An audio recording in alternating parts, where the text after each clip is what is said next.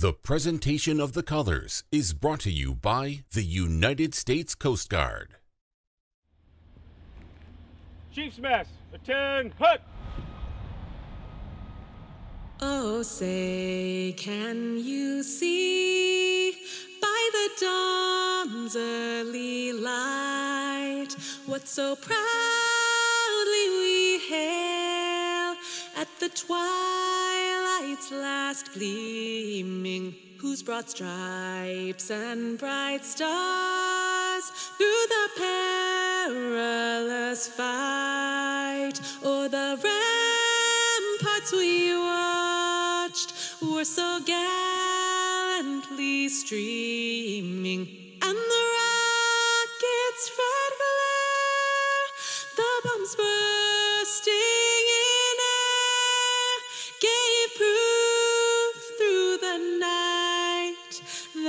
flag was still there. Oh, say, does that star-spangled banner yet wave o'er the land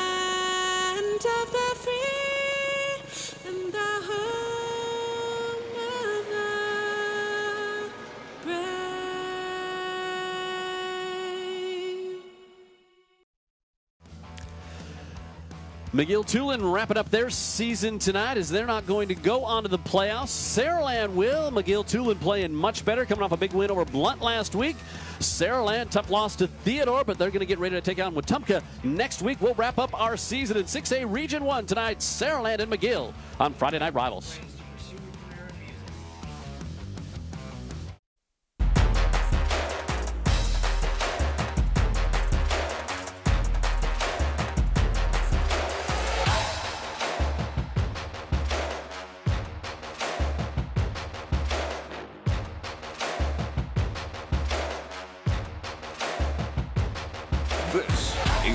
Dr. Pepper Friday Night Rivals, presented by Sonic. Coach Norman Joseph and the McGill Toolen Yellow Jackets going to wrap up their season tonight here while Saraland gets ready to go on to the postseason. They're ranked number four, coming off their only loss of the season last week against the now top ranked Theodore Bobcats, and which was a great battle last week. But tonight they wrap up region play, and we wrap up our broadcast season tonight here from Spartan Stadium. Good evening. I'm Jim Cox, my partners Dan Brennan and Heather Healy down on the field. We'll check in with her in just a few minutes. But uh, a matchup here tonight, Dan. You see a, a Saraland team coming off that tough loss last week, but a McGill team really trending up here in the second half of the season. Yeah, they, they've had, played very well in the second half of the season. They're coming off a nice win against Blount, Yep. too. They routed the Leopards. So McGill, a younger team, rounding into form, not going to the playoffs. Saraland, again, bouncing back, an emotional loss, Mm-hmm. but I think the players are fine. I think so. This McGill team, you know, asked Jeff Kelly before the game uh, just a few minutes ago, you know, what concerns you? He talked about that defense, and boy, we know it because we saw it a few weeks ago against Spanish Fort, and there was a player who caught our eye in that game. Kind of catches everybody's eye. He does. Number 20, Dylan Sauce. He's a uh, great name, by the way, and he's also a, a great football player. He'll play in the interior line, but he makes plays behind the line, sideline to sideline. So much effort. Dylan Sauce is a really fun player to watch. You can't miss him tonight. Yeah, he is uh, everywhere and really is one of the leaders of this McGill team playing his last high school football game here tonight. On the other side, a young man who's got a lot of football in front of him. We saw him start the season as a sophomore quarterback, KJ Lacey. He is a special one for Saraland. He's got special people around him too, but Lacey only a sophomore, a lot of poise, a lot of talent. He can tuck it and run if you if he has to, but he's more of a guy that keeps his eyes downfield. He can make a play that's scripted. He can make a play on the run. KJ Lacey, big time weapon. Everybody in the state knows about him. Yeah, 27 touchdowns against just three interceptions on the season. We'll see how this one shakes out here tonight in Saraland. We wrap things up for our broadcast season and also for our uh, region play here in 6A Region 1 as we get ready to kick this one off. But first, this message from the City of Mobile and their Kindness Counts campaign. Just about ready to get this one started here in Saraland. Jim Cox and Dan Brennan as we McGill won the toss and they will defer. So we will see Saraland, that high powered offense led by KJ Lacey that Dan talked about just moments ago. They will take the field first here as we get ready to wrap up our Friday night's rival Friday night rival schedule for this 2022 campaign. And before we get tonight's kickoff, let's send it down to Heather Healy down on the sidelines. Hey, Heather. Hey guys, great to be with you tonight. Both teams, they obviously want to finish this regular season on a high, right? And for Spanish Fort, this team is not looking forward to playoffs just yet. They got to secure this game first. They know how aggressive this McGill Toolen team can be, specifically on defense. So their offense has got to play tight and secure.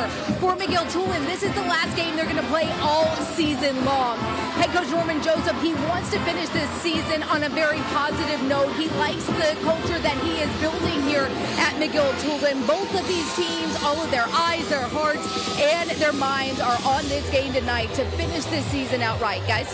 If Kelly, you saw, thank you, Heather, just a few seconds ago, of course, has taken the Saraland program to the state championship twice, lost to Pinson Valley in 2018, and then back in 2014, lost to Clay Chalkville. And you got to think, folks here in Saraland think there's another chance here in the near future for this Spartan team to make it back up to the Super Seven. Well, and and you know what? With the, the fact is, with Lacey and McWilliams and uh, also Ryan Williams. Ryan Williams, they could have multiple shots up there. Yeah.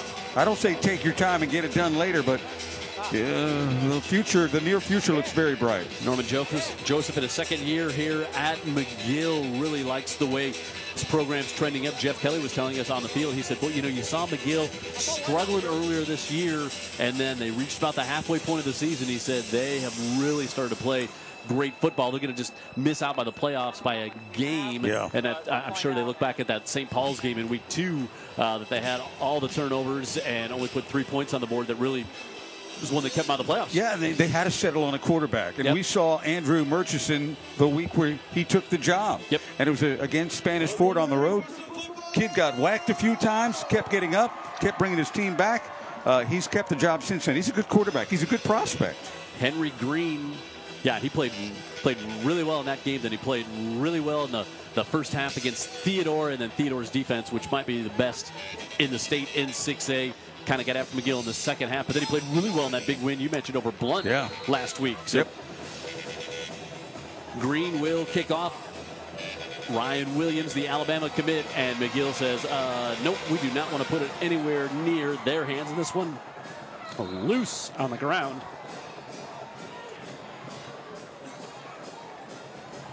So just kind of a high kick.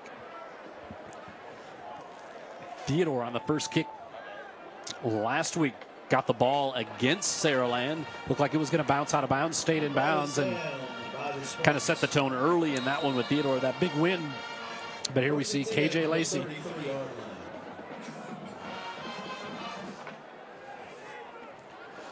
Sophomore quarterback. 27 touchdowns, just three interceptions. Hey, that's amazing. On the year, 1,825 yards.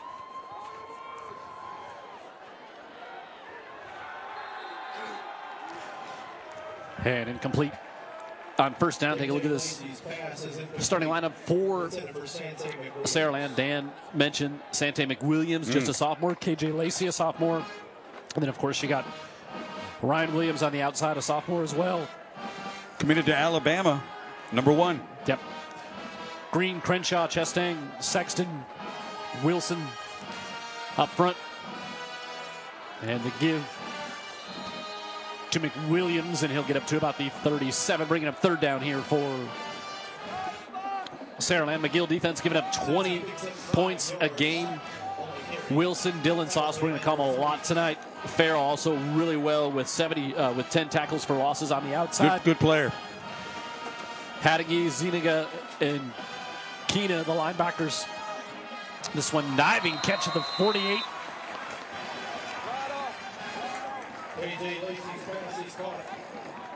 Jordan Dees. Jordan Dees. Jim, this is a great throw on the run. Third down, so consider consider the stakes. Really good throw on the run and a really good catch. Jordan Dees with his 16th catch of the season. Back to McWilliams. I'll tell you, this uh, McGill team's a swarming defense, Jim. Good thing, because McWilliams is a runner that doesn't have much quit in him. He's the sophomore that's already been offered by a lot of big schools. really solid play. Doesn't these sophomores simply don't play like sophomores? They've really leaned on the running game more as the season has gone on. Uh, with that guy, it's a sure thing. Second and seven here. Lacey zips this one to the near side, and there's the Alabama commit up to the 40. His 49th catch of the season. One thing I noticed on that was how quickly Lacey got it out. You get the ball out quicker. The receivers got more options immediately. You don't want to give him any options. It was a great tackle in the open field. Otherwise, he's just going to create problems and maybe get six. He's that good. And the longer you hold it with the pressure McGill likes to bring, Right. more chances for You're- trouble there. You're going to have some visitors in the in the uh, backfield. Third and two.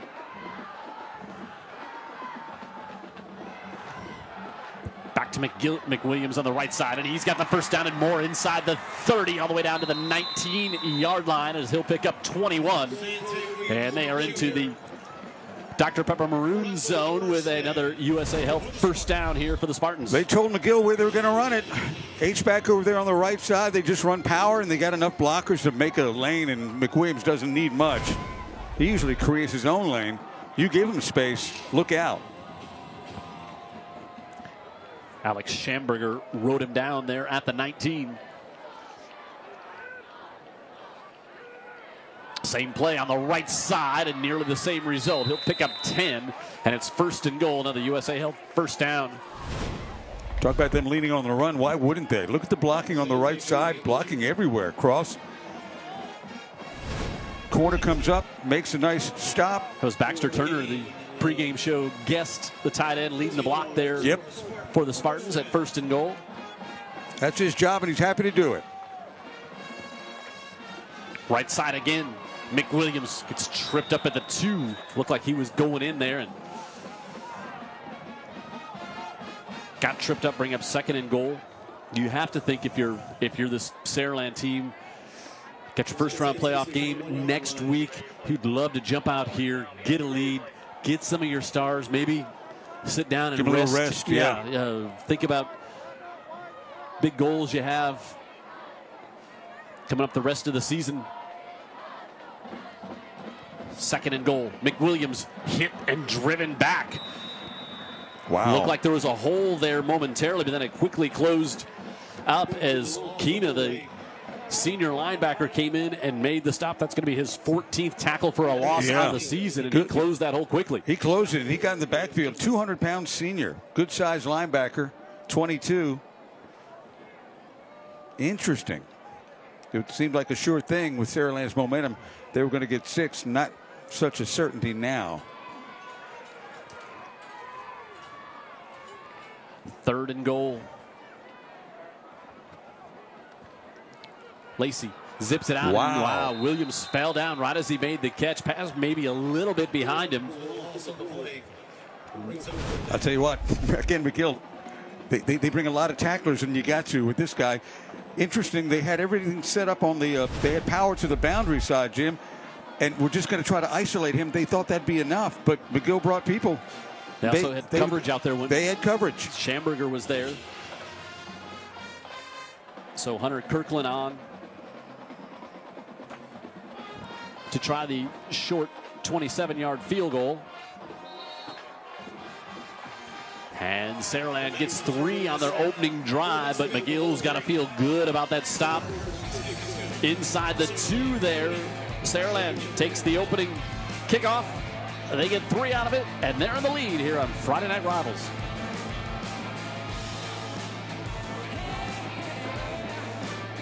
Saraland on top by a score of 3-0 as they took that opening drive down and had to settle for a field goal, but they take off almost five minutes on the clock. And you said that a big third down conversion, right, Dan? Big third down conversion, great run on uh, throw on the run by Lacey, and a great catch, and, and, and then it was McWilliams.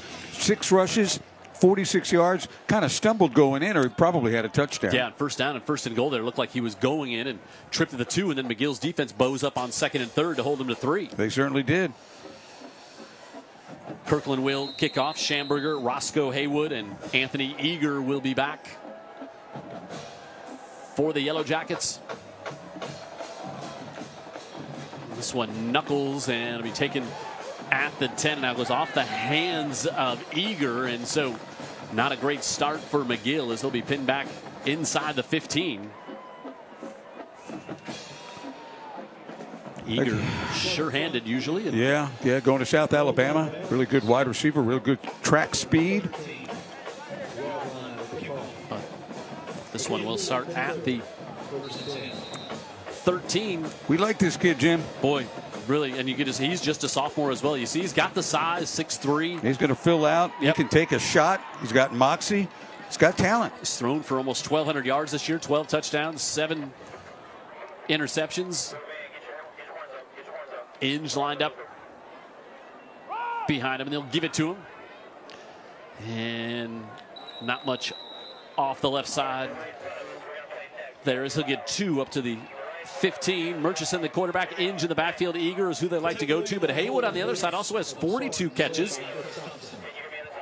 Miles and Mayhall is the wide receiver. Shine, Tran, Diamond, Holmes, and Brock on the offensive line.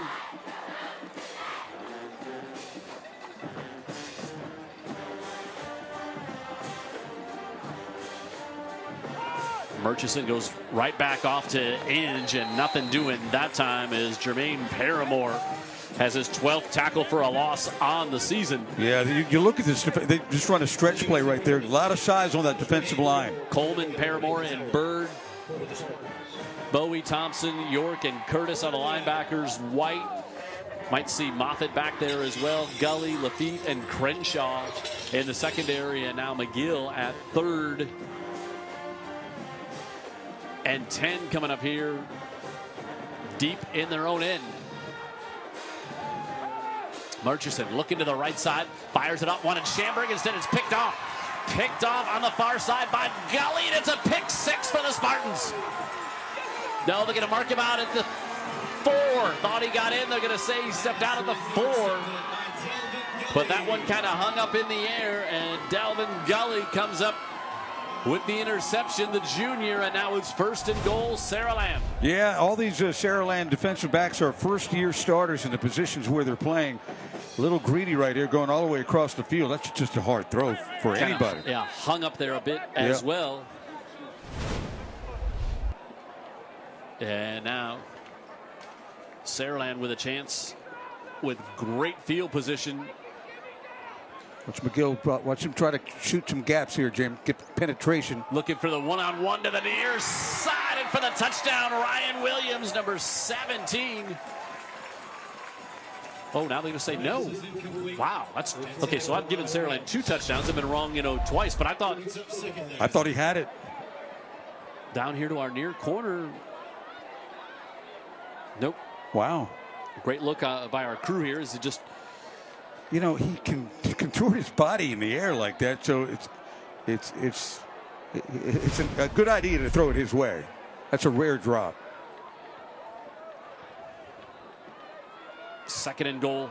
McWilliams going to be stopped again by this McGill defense as Schamberger was one of the first ones in there, along with, hey, guess who? Dylan Sauce. Yeah, Dylan Sauce, great player. They bring people from everywhere, and and they've only got three yards or four yards to defend, Jim. They're not going to make it easy on you. They're tough bunch, and uh, they're, they're, they're going to try to get a win here, get it, make a Saraland kick another field goal if they can.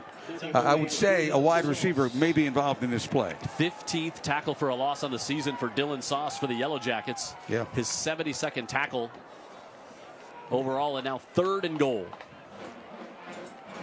Lacey on the sprint out. Look at that. Pressure coming, trying to turn the corner. Looking now, a flag's going to come in. That's going to end up being a holding call. It's incomplete. So now after McGill, do you do you back him up? Give him another chance.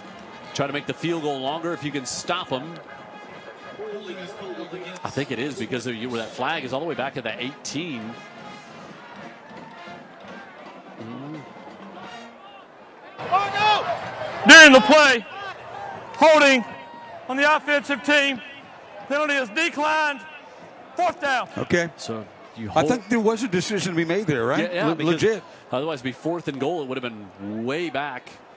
Then it would have set up a long field goal if they didn't get it. But you're saying, hey, if we if we can hold them to three here. That's a win. Going to be the second to goal situation that would be stopped. A tough angle on a short kick. This one just from 22 yards. But Hunter Kirkland is now four of five on the year. And Saraland has the lead by a score of 6-0 here on our final night of Friday Night Rivals. You know what I could have used at the beginning of this broadcast suddenly, Dan? I had a little bit of a dry throat there. You know what I could have used? Little Dr. Pepper. That would have been a big help. You know, if you go to Dr. Pepper, go online, you can pick up some Pepper perks as well. Uh, just uh, sign up to earn those free, cool Dr. Pepper perks. Uh, and also have a chance to win college football national playoff championship game tickets. Go to drpepper.com and sign up. And good luck. Who's got a chance to win it back to back this year? I guess. Could be. Georgia? Yeah, only one that could, right? I guess. This one again bounces to the near side, and McGill had called for a fair catch, and then the ball bounced, and McGill again with a bit of a snafu here on the Yeah. Kickoff. They'll be back again. They started the last drive of the 13, and they're going to be at the 12 this time. They need a play to get him out of here, get him out of jail so their offense can begin to operate a little bit. Yeah, they went. Just kind of unfortunate, you know? Let's go down the sidelines, check in with Heather again. Heather.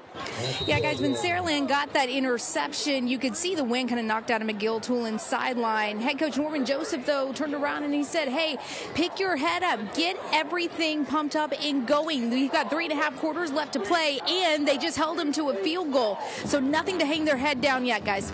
He really likes the way Murchis has been playing here the last three or four weeks. Looking to throw. This time he's able to get this one on a rope to Eager, and Eager all the way out across the 40, looking near midfield, and he's got the speed. Eager up the sidelines all the way to the 30 yard line. Yeah, did I mention the kid's got track speed? There was the track speed on display. You got Ryan Williams. We've got Anthony Eager. He's pretty darn good, too. Makes a couple of moves in the middle of the field. Another one right there. 59 yards on the pickup, and McGill is on the move at the 29. That's getting out of jail right there. Oh boy, and how about a confidence builder after that bad interception? Yep. Last time he put it in the air. A lot of Saraland guys up on the line of scrimmage. Look out. Back to Inge and nothing doing there as Cameron York, the junior, came through the hole and stopped Trey Inge. They, they, they were begging McGill to throw the football there, Jim. They were really, really up on the line of scrimmage. They've got a lot of beef on the defensive line in the first place. You bring some numbers, it's going to be really tough. For Inge is a good, tough runner, but that was asking a lot. Inge over 800 yards on the season, no Yeah. gain on that one. Good player.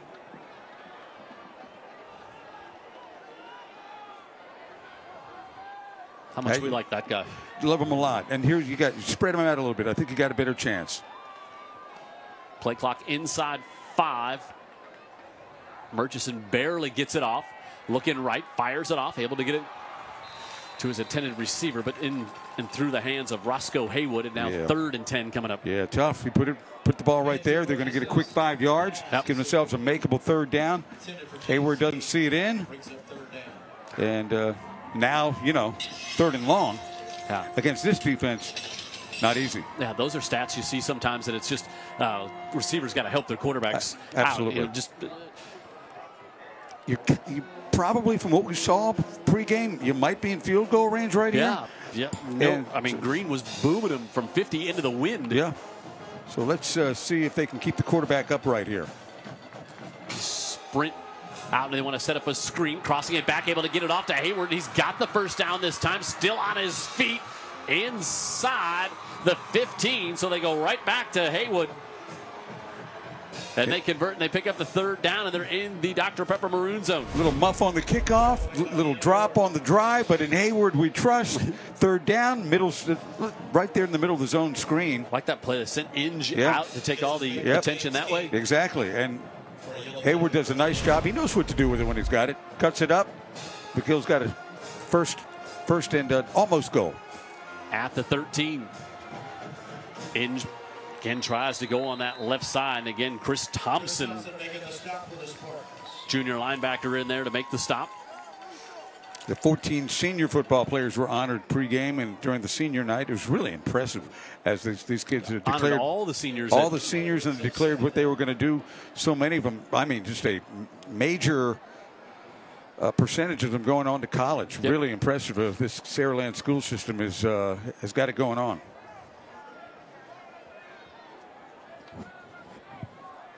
Second and 10, Murchison. Play action, fires it. That one tipped. Tried to go across the middle and getting a hand on that was Delvin Gully, who's already got the pick tonight. I think the fact that Murchison has got a really good arm, probably that's why the ball wasn't caught. But it was a little high. Good play by Gully. Murchison, if not for Gully, he might have fit that in for a touchdown. He's got a whip. Sure does. Third and 10 from the 13. Saraland with the two field goals. McGill's defense held them to on two different drives inside the five. Pressure.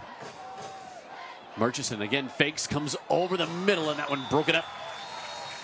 There on the coverage was Cameron Lafitte. As they tried to go back to Eager.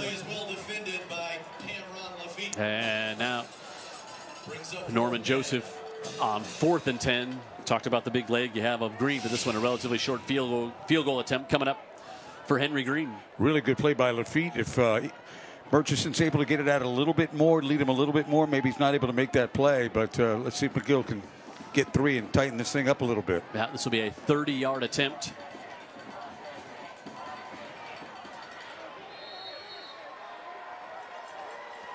And it's good. So three field goals here in the first nine and a half minutes. Saraland on top 6-3 here late in the first on Friday Night Rivals.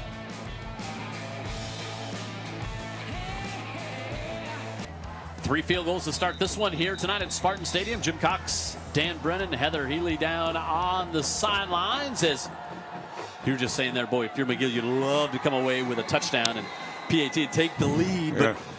At least you get something on that drive after a Yeah. horrendous You start had- on your first one. Exactly. You had to get something, and now they just need a good defensive stand. Let's see if they can if they can get one of those. Green sends this one back, and Williams across the 40. Boy, he's so dangerous across the 50. Still on his feet. Still up to the 30, and great field position coming here for Saraland. Well, you know, you look like everybody was in their gap, just like Williams runs through gaps, around gaps, and faster than your defense. Take a look here. Yeah, they keep it inside, but he just makes moves, and he's able to elude Hayward right there. 50 yards on the return. A Boy. sophomore Yeah, going to Alabama I wonder why. right now. I think I think when he gets there, he's going to play football. And he uh, he might not have to wait long. Uh, well, you know, they're, they're going to have about five of him in their class, so a lot of competition up there. KJ Lacey, sophomore back, hitting quarterback, gives it up. And McWilliams, and again, good penetration by this McGill defense. Stout up front. Have the Yellow Jackets bend.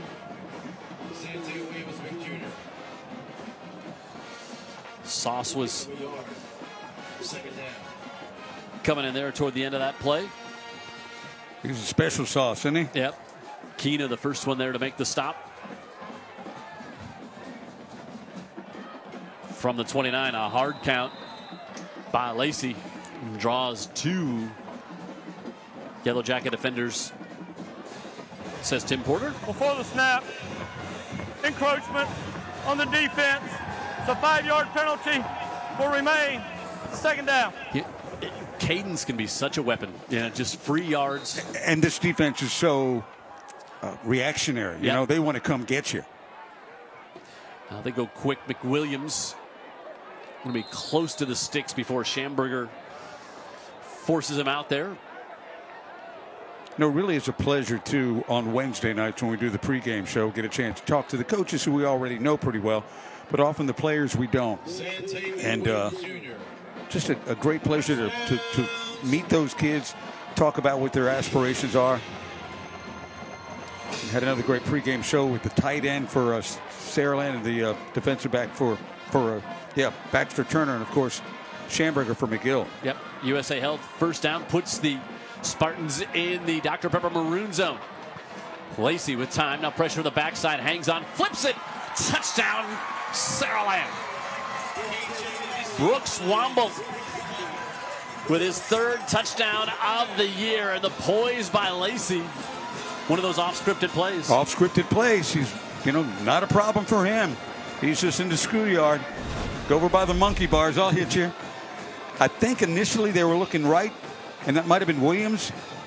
And then some pressure by McGill. No, no surprise there. Sauce is coming from behind, but look at the play. Just, you know, I mean, uh, not everybody can make that play. And- and just so so rare when you see a young quarterback who, when he starts to scramble, keeps his eyes downfield. So he just immediately tuck and No, run because no. they're the best athlete in the field at that point. All composure. Yep. And and then arm talent, of course, throwing from, you know, as they say now, a bunch of platforms or levels. He can do it.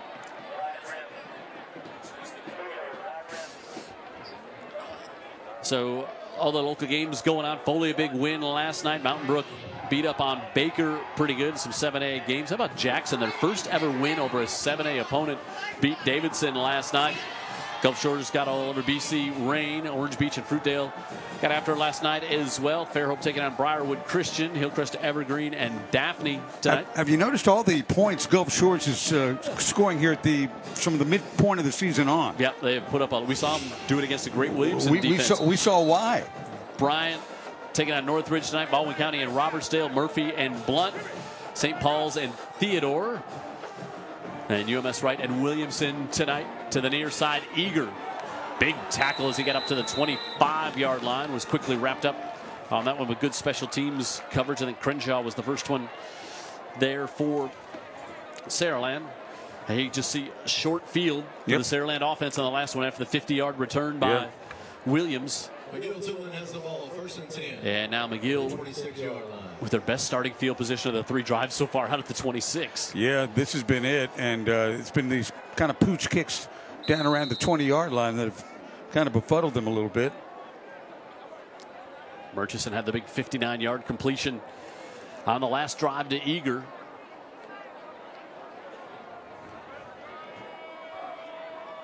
Crenshaw will match up against Eager on the bottom of the screen. Now Murchison wants to keep it himself, and Crenshaw comes in. He's going to tackle him for a loss. Yeah, they're just trying to trick you right there. Murchison doesn't have the speed really to to do much to get the corner. The only way he's going to get the corner is if you're completely fooled, and then they're not. Watch right here. Here comes Yep. Crenshaw quickly Crenshaw. peeled off, covering Eager and loss of four. We call it three officially in second and 13 according to the scoreboard here. And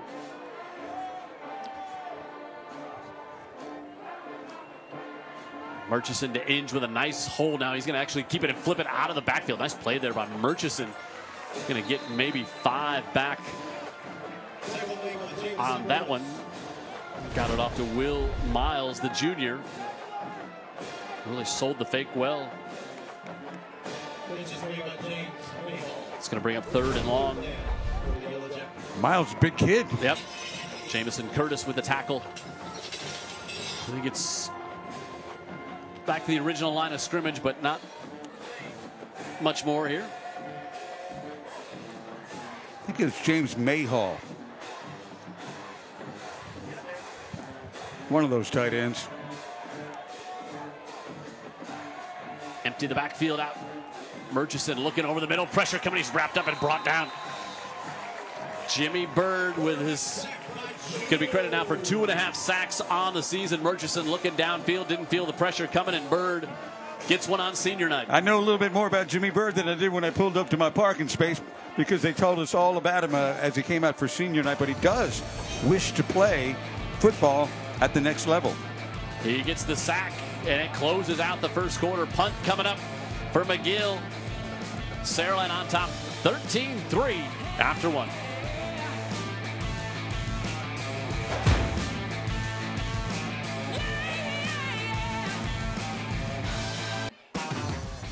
Sonic Grilled Cheese Double Burger, great. When you get it on the app, it's a really good deal too. Layered between two 100% seasoned beef patties.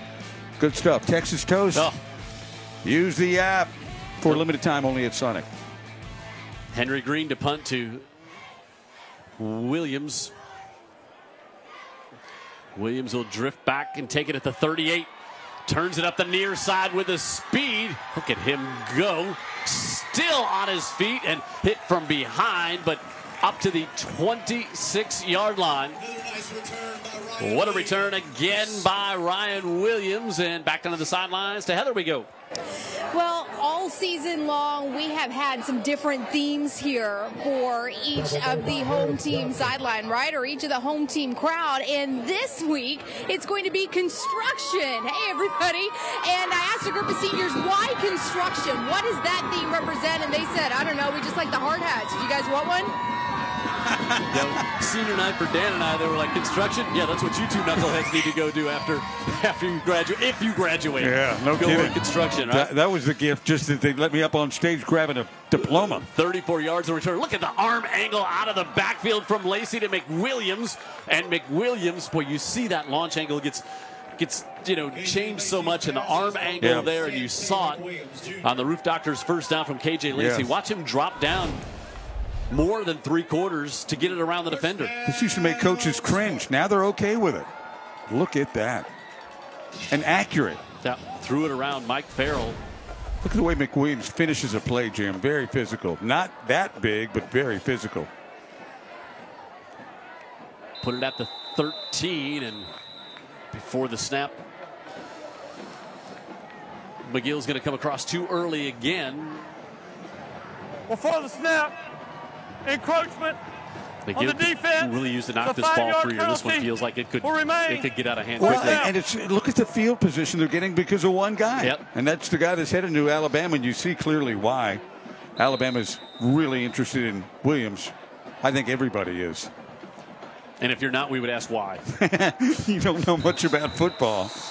wow, wow, wow, wow, wow. Got him to jump again. Yeah, Coach Norman Joseph had really animated over there on the far side, and Tim Porter. This one might actually go against Saraland. Before the snap, false start on the offense. The five-yard penalty will remain first down. At home.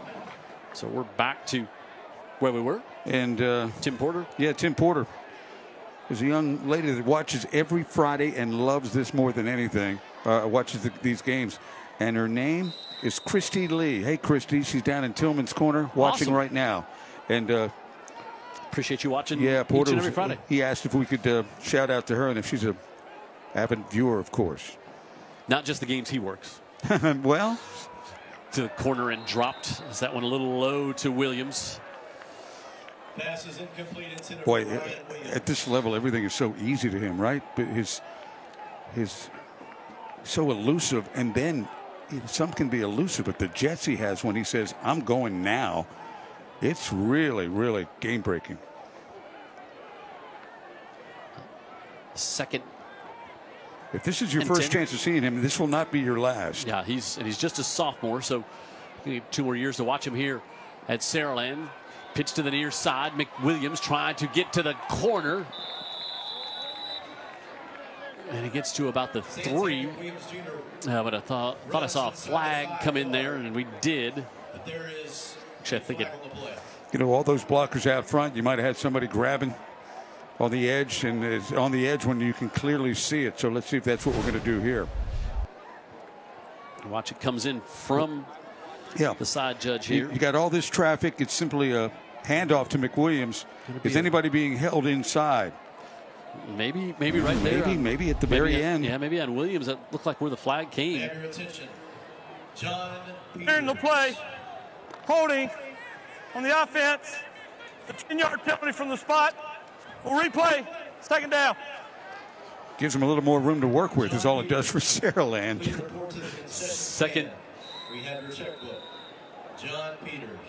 Thank you. and about Report to the 11 back at the 16.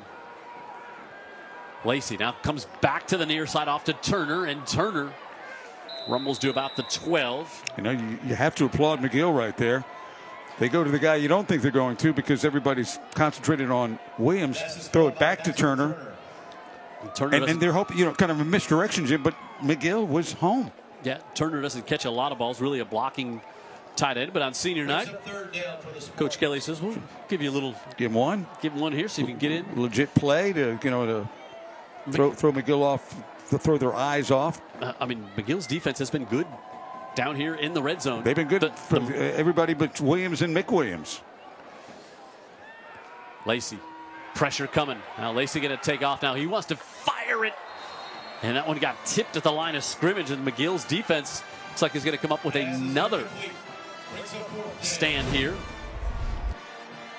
Let's watch Chase coming from Haddocky, and It was absolutely tipped, Jim. yep, Sorry, I missed who tipped it. Somebody at the second level, I believe a linebacker.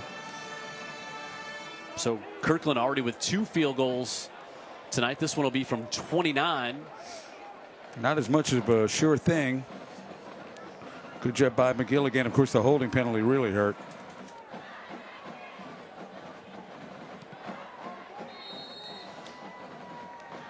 And the kick is good. And now 16 3 on three field goals tonight for the Sparks. Rookie Player Game nominee. Nine points already. 16 3 here in the second.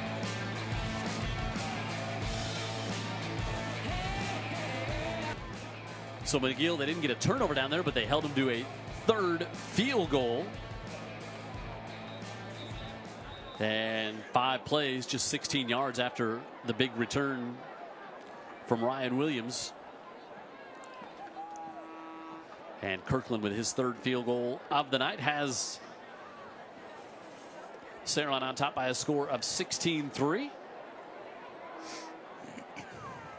Kirkland now five of six on the year. You got to brag on this facility. What a place to do a football game from. Plus, you have a, a really good football team up here in Saraland. Yeah, the um, you about that in a second. To the near side, and now some room across the 40, across the 50 goes Eager, and he's up to the 42-yard line in great field position now for the first time tonight for McGill. Either team, offensively or special teams wise, give it to number one. Yeah, no doubt. Eager took that one at the 21. And they'll knock him out of bounds at the 42. He's got a suddenness to him, too, right? Yeah. You were talking about this facility, the um, Yankees being knocked out, of course, the World Series, sending representatives in next week to look at the Jumbotron here because they want one similar in the Bronx next year, is the rumor. I tell you what, I well, I'll talk about my parking lot experience here in just a Boy, minute. we could tell a lot of parking lot stories about Yeah. Dan Brennan in, over the years. No, we, we can't tell them on the air. Inge plugs ahead for a handful. As soon as you get here, I was able to pull in and get a spot right there so I can get out. I've got to walk, but I can get out there easier. And I'm thinking, it's a long walk to the stadium. And it kind of is. And yet, the, the scoreboard was totally visible. And Jeff Kelly told me, yeah, we cut down some trees so you could see it from. Um, uh, it's a great walk in Yeah. uh, over the bridge Yeah. uh, here. And there's there's a good look at the scoreboard. Taking our feed here tonight on second and five for the Jackets. Murchison fires. Tried to go back to Roscoe Haywood again. Well, I was going to say well covered, but the, according to Maybe the too well. referees, yeah, maybe so. Maybe a grab right there at the end. Yeah, White was on the coverage.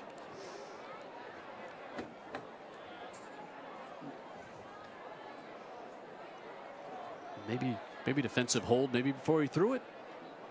Yeah, that's it. Okay.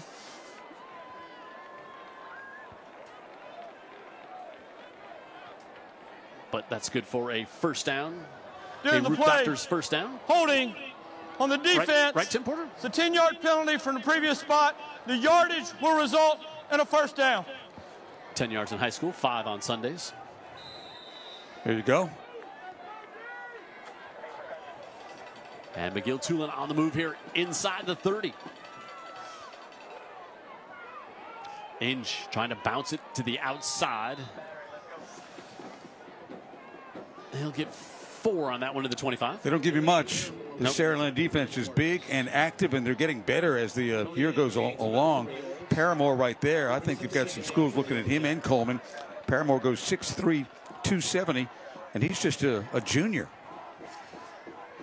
And Coleman, his line mate there, the sophomore, with 15 and a half tackles for loss on the season.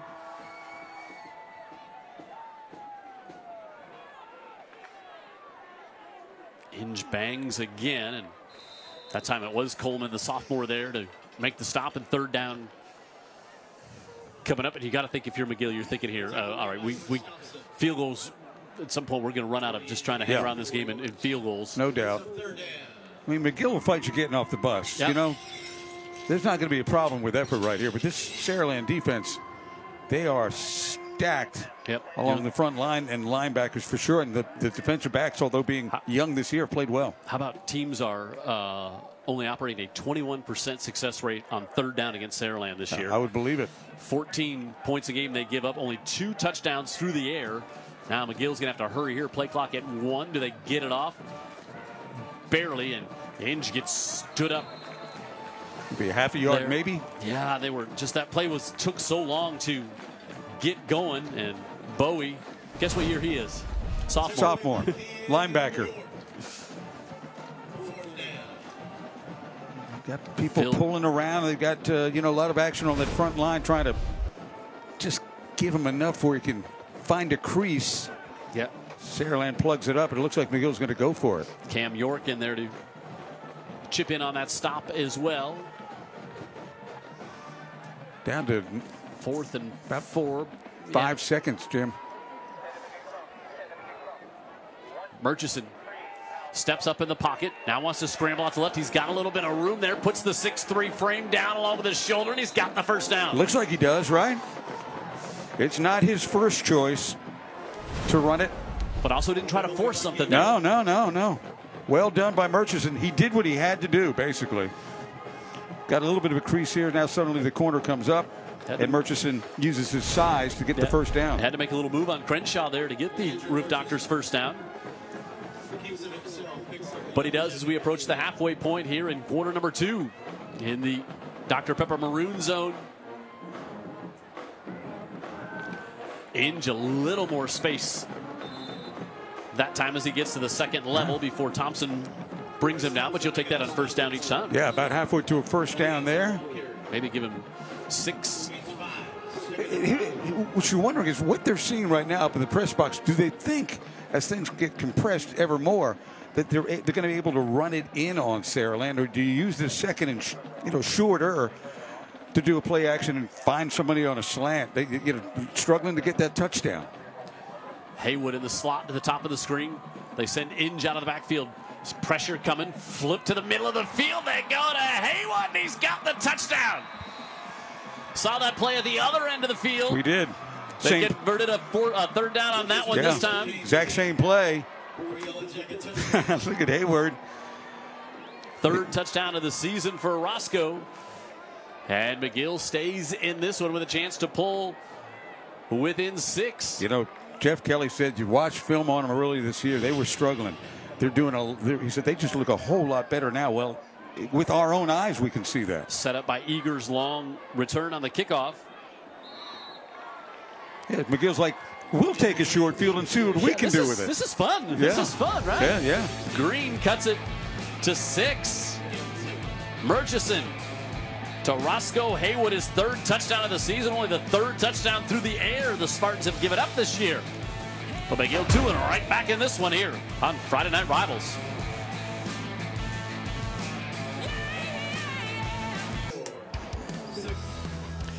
You know, Dan was talking earlier about our Wednesday night pregame show. We record that at AOC. Great place to hang out there, get to meet uh, young athletes, and also talk with our coaches. And then they also give you our Friday night Facebook live stream.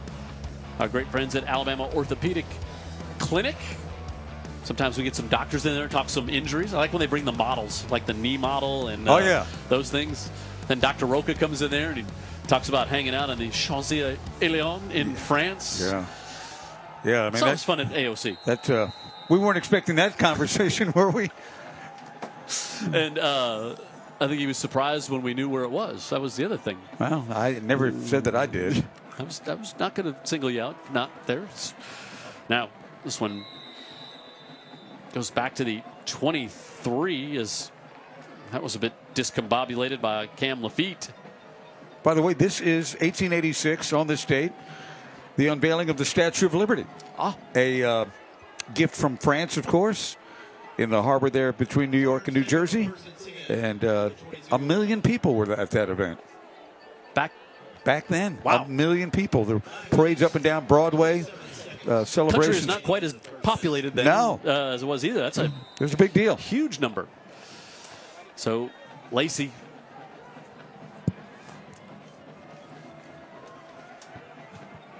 leads the Spartans back out here.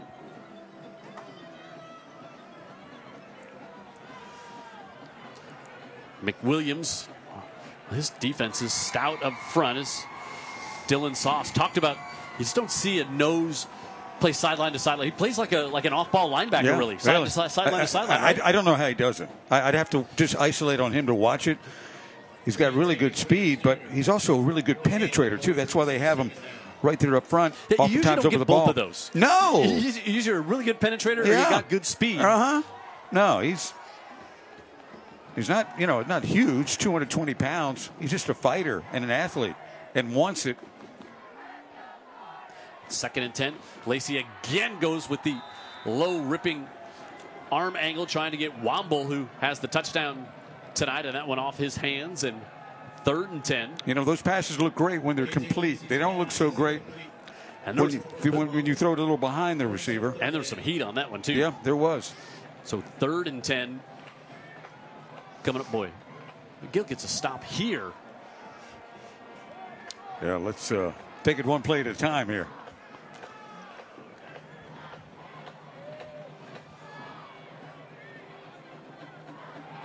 Lacey incomplete. Goes back to Womble. Schamberger on the coverage. And a quick three and out. For, you know, started on that kickoff, just didn't handle the kickoff really well. Right. And then they go, Well, that, that's what Three and out. happens. You know, you're you're normal when you start at your own 20. Now everything's kind of even, and and Williams was involved in none of those plays. Right. So your most dynamic player doesn't get doesn't get a target, and uh, you're starting at you know deep in your own territory. You, suddenly your offense looks human. Kirkland will stand back inside the five. Returnable. Good kick to the 45 yard line, and Schamberger does not get mm. very far Oh, before great. Curtis, the linebacker, is down there on special teams. Yeah. But still, 45, you'll take that field position. You, will take it, but it looked like Schamberger had a had a shot, but really good play by Curtis. Good special teams play that nobody will talk about, but we'll talk about it right now because it just happened and it made a big difference. So, uh, so McGill thoughts to pass along Vince Dooley, uh, passing away at age How about that? 90. Of I course, Got the McGill ties. yes, went to what became McGill, born in Mobile, and Yeah. in the Mobile Hall of Fame back in McGill- uh, 87, I think. McGill Institute is what Yeah. it was right then. The uh, girls' school was Bishop Toolen. So age 90, and uh, made a big impact here in Mobile. And of course, at Georgia after that.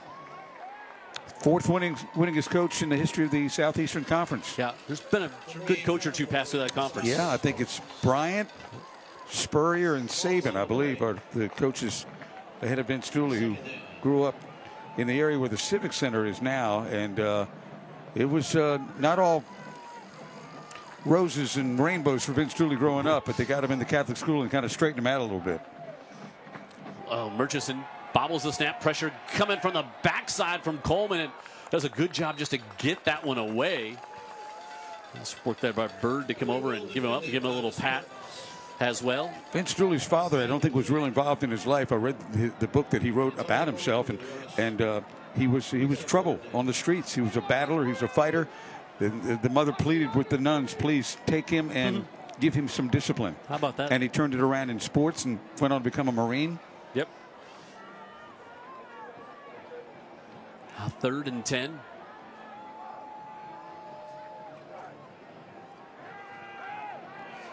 Murchison wants to air it out. He's got it up the far side. Eager and McGill has tied this one up on a 51 yard strike from Murchison to Eager and McGill with a chance to take the lead. You know, Eager's the, he's the wild card right there. He's there, Ryan Williams, pretty much on his way to South Alabama to play wide receiver. Yeah, a go route is all it is, and whatever he did to, if it was a hitch and go, he was gone. And a nice ball by Murchison. Hung it up there. And Lafitte was trying to give chase as we get a flag before this one. Before the snap, Now, substitution infraction, too many men on the field.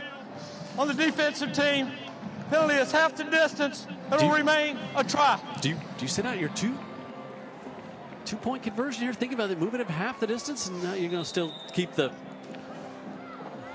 I think you just want to take the, the, lead. Yeah, yeah, take the lead as opposed to maybe it goes wrong, you're you're still tied. And Green gives McGill the lead at 17 16 is eager. He wanted Murchison to come over. Murchison was holding on that one. Line did their job. Murchison did their job. Eager does his job again. And the Yellow Jackets on top now 17 16 here late in the second.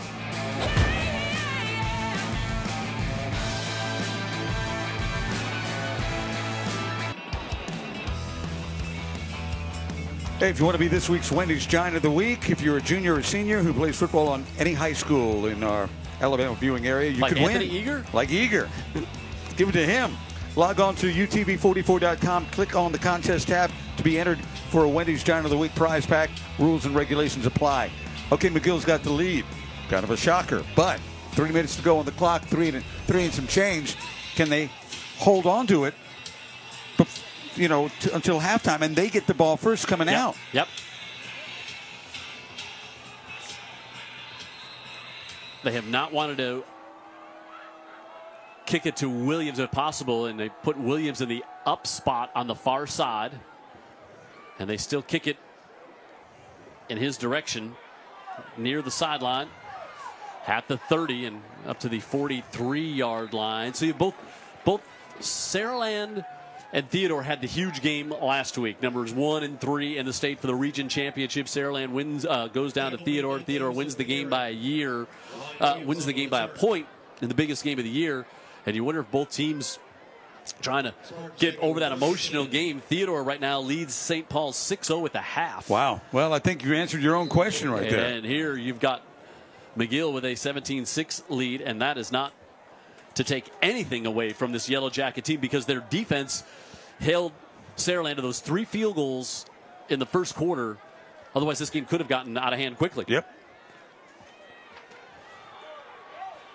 McWilliams, much of the same from this McGill defense trying to go on that right side. He had a great first drive of the game. Since then, not as much. McGill is frustrating Saraland Jim with some of their slants, penetration.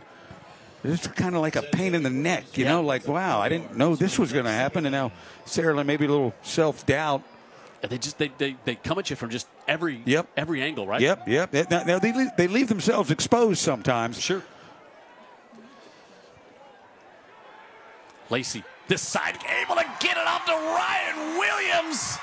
Williams answers right back with a 54 yard touchdown. Sophomore to sophomore. And once he got it with a defender on his hip, there's nobody in the state that's going to catch him. No, I mean the fans in the stands tonight are are going to remember this era of Saraland football for a long time. That'd be my guess because Williams is just so special.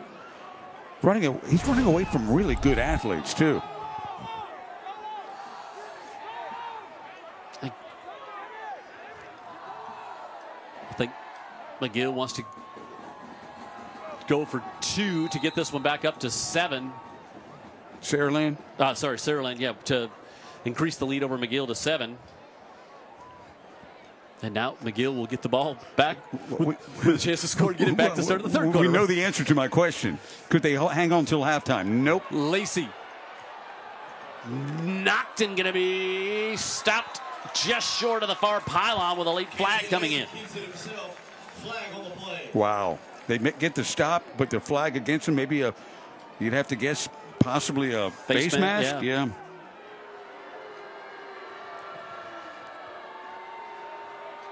Mm, that's what it is. They're not happy about it across the way. McGill with a big crowd that's I- I- coming up to Saraland. Yeah, they're some reason to get boisterous here in this second quarter. Let's watch here at the end. Nothing there. During the play, Yep, there he personal foul, face mask Very on end. the defensive team. Penalty Yep. is half the distance to the goal line. We'll replay the try. Yeah, Welch. Shamar Welch, who's had a great junior campaign for this McGill team, had his hand in there. This time, McWilliams able to bang ahead and get the two point conversion. And Saraland back on top by seven now. 24 7 with 2.32 to go in the second half. Just you see this here. Lacey, not a deep drop, quick snap, and then just between the two defenders. And like I said, and when I say there's nobody in the state, I mean there is no one in the state who's going to catch No, the fast no. 40 runner. Really good, really good throw too. Right between two McGill defensive backs and uh, corner and a safety. And uh, again, he gets the ball out so quick. He's accurate. Hits him in stride. Hits him in stride. You hit a sprinter in stride. See you later. Yep. And Williams with his second touchdown here tonight, 18 on the year. Blows a kiss to the crowd. Hollywood. We've had a lot here in the first half. Absolutely. Been great. This one to the middle of the field, and McGill will just fall down there at the 25. Just two plays.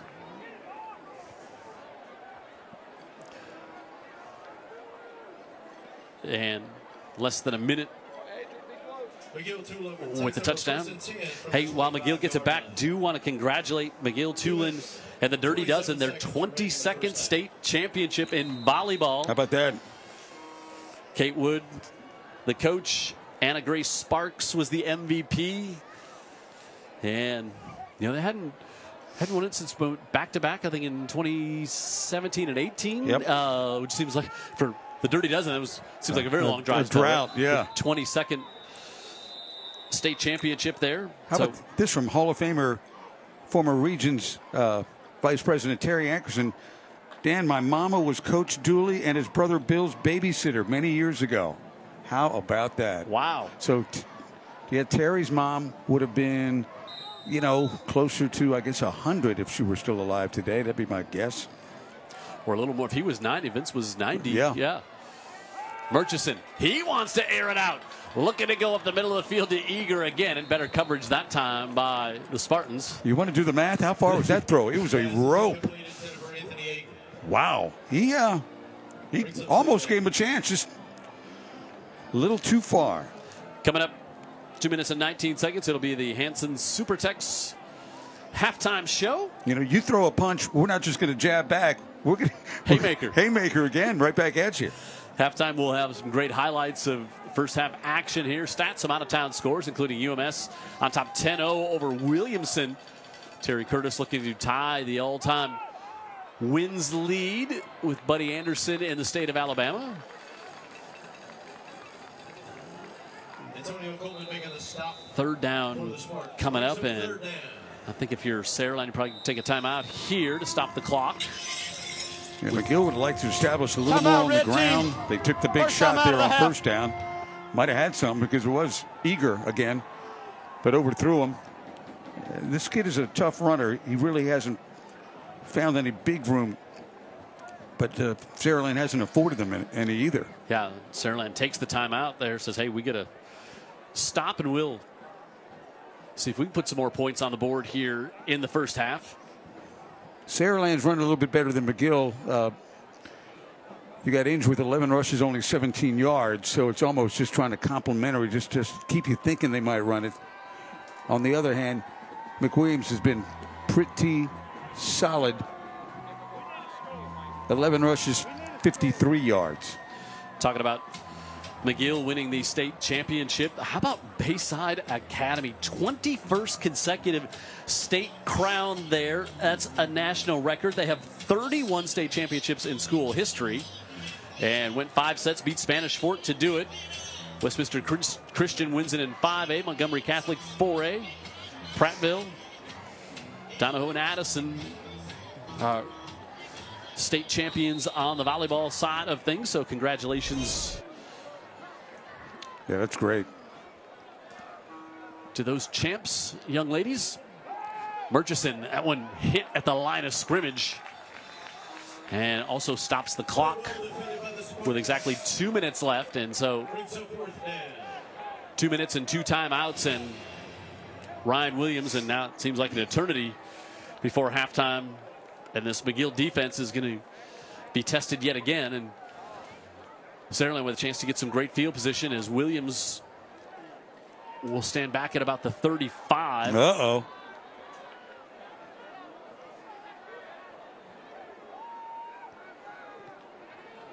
Green end over end kick, and it checks up and bounces out of bounds. And Williams didn't get a chance to get after that one. That was a good punt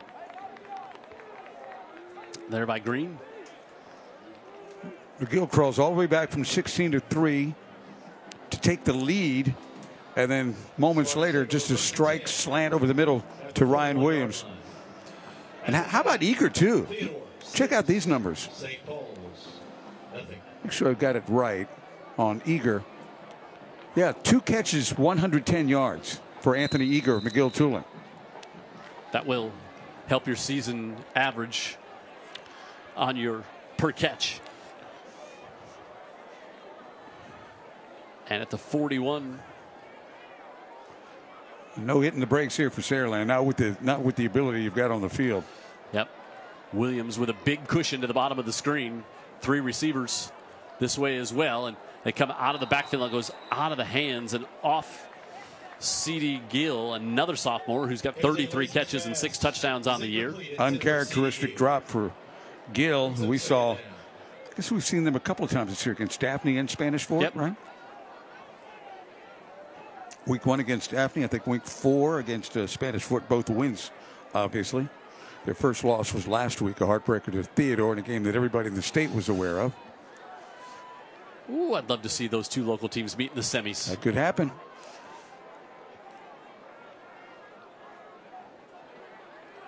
Lacey again looks to pass, drops back, wants the middle of the field, fires it up, and it's incomplete.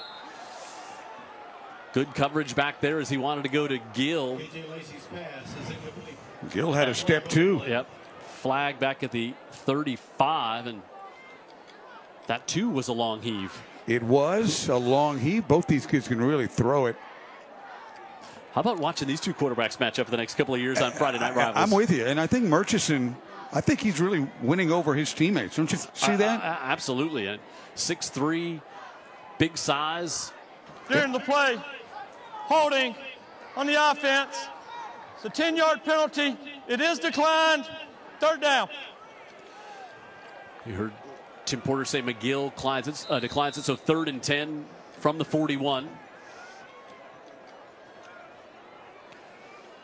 Now pair receivers to each side. Williams to the bottom of the screen. Lacey tipped up in the air and incomplete. They were trying to get to Williams, and McGill's defense comes up with a stop there, so they decline it to force the third and 10, and then they get the stop, and now they're going to get a chance to get the ball back here.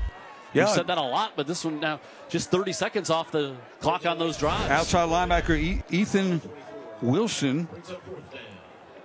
Actually, outside linebacker defensive end. Good play, Wilson, and uh, nearly a turnover. Schamberger back at about the 30, waiting for Kirkland. Again, it looks like they might be going to bring some pressure. Instead, they'll set up the return. Another good kick. Schamberger going to have to call for a fair catch at the 16. Not surprisingly, Schamberger does the right thing on that play. Yeah. He's had football talk to in his ear just at the house from a very young age with Yeah, his what, what, dad. what a nice visit with his father, who we probably haven't really talked to in a conversation in about 20 years. He was the head coach at BC Rain when he was a Yep. very young man in his early 30s. Had some good teams there, too. Absolutely. Nice man and a really nice kid. We'll see how that all happened. And his son on the pregame show, if you didn't, see, he said he's just hoping for a chance for his dad to coach him one day, Yep. and that's come to fruition here at McGill. Now, Inge with a little space, pushing up to the 25. You know, it was nice too, Jim. Really in the moment. Uh, Coach Schamberger said, I, I told my son, we're just, we, we're, let's do this thing. We're just making memories. Yep. Tony Inge picks up Pretty cool. Yep. Second down. Second. And a couple here for McGill, not in a huge hurry. Stan said they'll get the ball back to start the second half. Back to Inge, and he is not going to get much more than maybe the line of scrimmage. Mm, now, Saraland's going to take another timeout. I think you know, if you're if you're Saraland, you're, Timeout you're, on the red team. You're, you're Second thinking, time out of the half. right, not that much time left, but we make him punt it to Ryan Williams. Yeah, I mean, there's there, there's your there's your possible Yeah. ace in the hole right there. Get it, uh, every time he touches the ball, it's a chance for six. Yep. Now, if you're McGill, huh? I mean, you've got some dynamite on your side of the field too. Also, third and one. I think you get the first down, get the clock stopped momentarily while they get everything reset. Maybe take a shot. And maybe we wouldn't be surprised, Coach Joseph, they're not calling two plays. All right, here's what we're going to do here get the first down, get quickly lined up, and this is the play we're going to run. Yeah, Take I- your shot to Eager again. I would. I, that makes a whole lot of sense to me. You got to get the first down first. Uh, Saraland, with all that size I've been talking about on the uh, defensive line, Uh, linebackers play close up to uh, the uh, line of scrimmage too. Yeah, and uh, a yard has been tough to come by just Yep. running off tackle. Yep.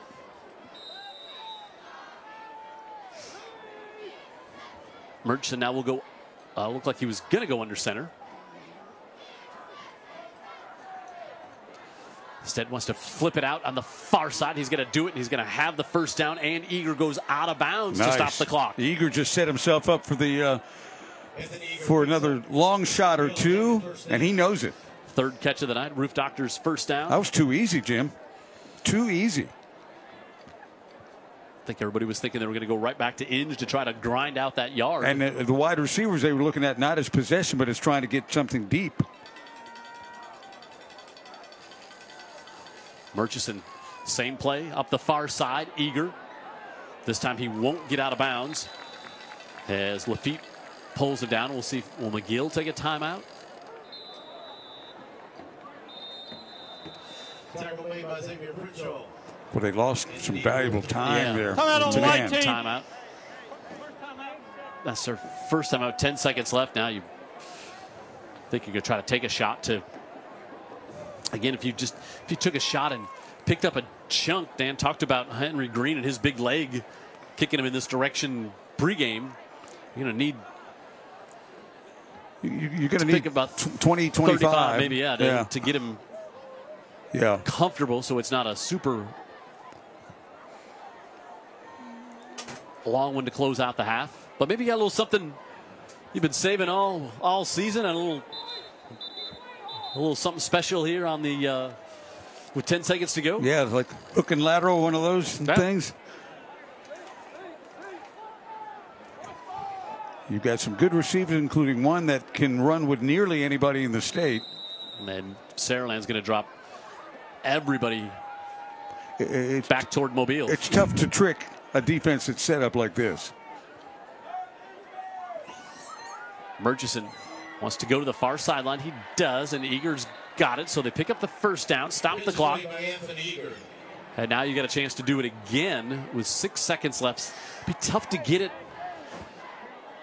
Tough to get it in the middle of the field. Get your timeout to get your field goal unit out here with six seconds left. You need to pick up about 20, and that's a lot to pick up in six seconds. So I think you're just going to take your take your shot here. Murchison steps up in the pocket, hit, gets it off, incomplete, great play, and now a flag comes in.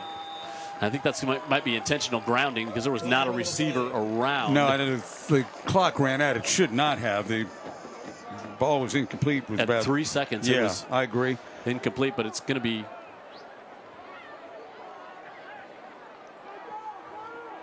During the play, intentional grounding. Penalty is declined. Halftime. wow. I don't quite understand that. I don't Uh, understand that. All right, uh, Heather's down on the sidelines with Coach Jeff Kelly. Heather. Coach, that McGill Toolen offense is playing as gritty as it has all season. Talk about the problems that it has given your offense. Well, they, they've caught us in some coverage situations that uh, we've had some mistakes in there. They, they're a good football team. They got some good players. Coach Joseph does a good job. You know, for us, you know, this thing here, we had we had the ball down in the red zone three times, had to settle for field goals, and you know, we got to get that corrected. You know, we can't kick field goals all night. We got to we got to get in there and punch it in the end zone. Message on both sides of the ball for your team. We got to run the ball. We got to get back to running the ball, and we got to finish drives. Right now, we're not finishing drives offensively. We're giving up too many big plays right there, so we got plenty to correct. Thanks, Coach. Thank you. Guys. All right, thanks, Heather. And at the end of tonight's game, we will have Herc Reynolds players of the game. We'll have three of them to choose from. Rod Taylor, the running back for Baker, had the big touchdown run here that kept Baker's offense off the field there in that first half when they jumped out to the quick lead with a Yeah. couple of uh, three interceptions in the first half. And Taylor, who's had a great year running the ball out of the backfield. This time he does it on special teams and gets the touchdown there. And he also gets the recognition as the Friday Night Rivals player of the game. We'll give you three to choose from. You might be able to choose a couple of them that uh, you think we'll have on Right there now, uh, yeah. right, right now. So we'll do that, and then we'll come back for our halftime show here in Saraland, Spartan Stadium. The home team on top by a touchdown through two.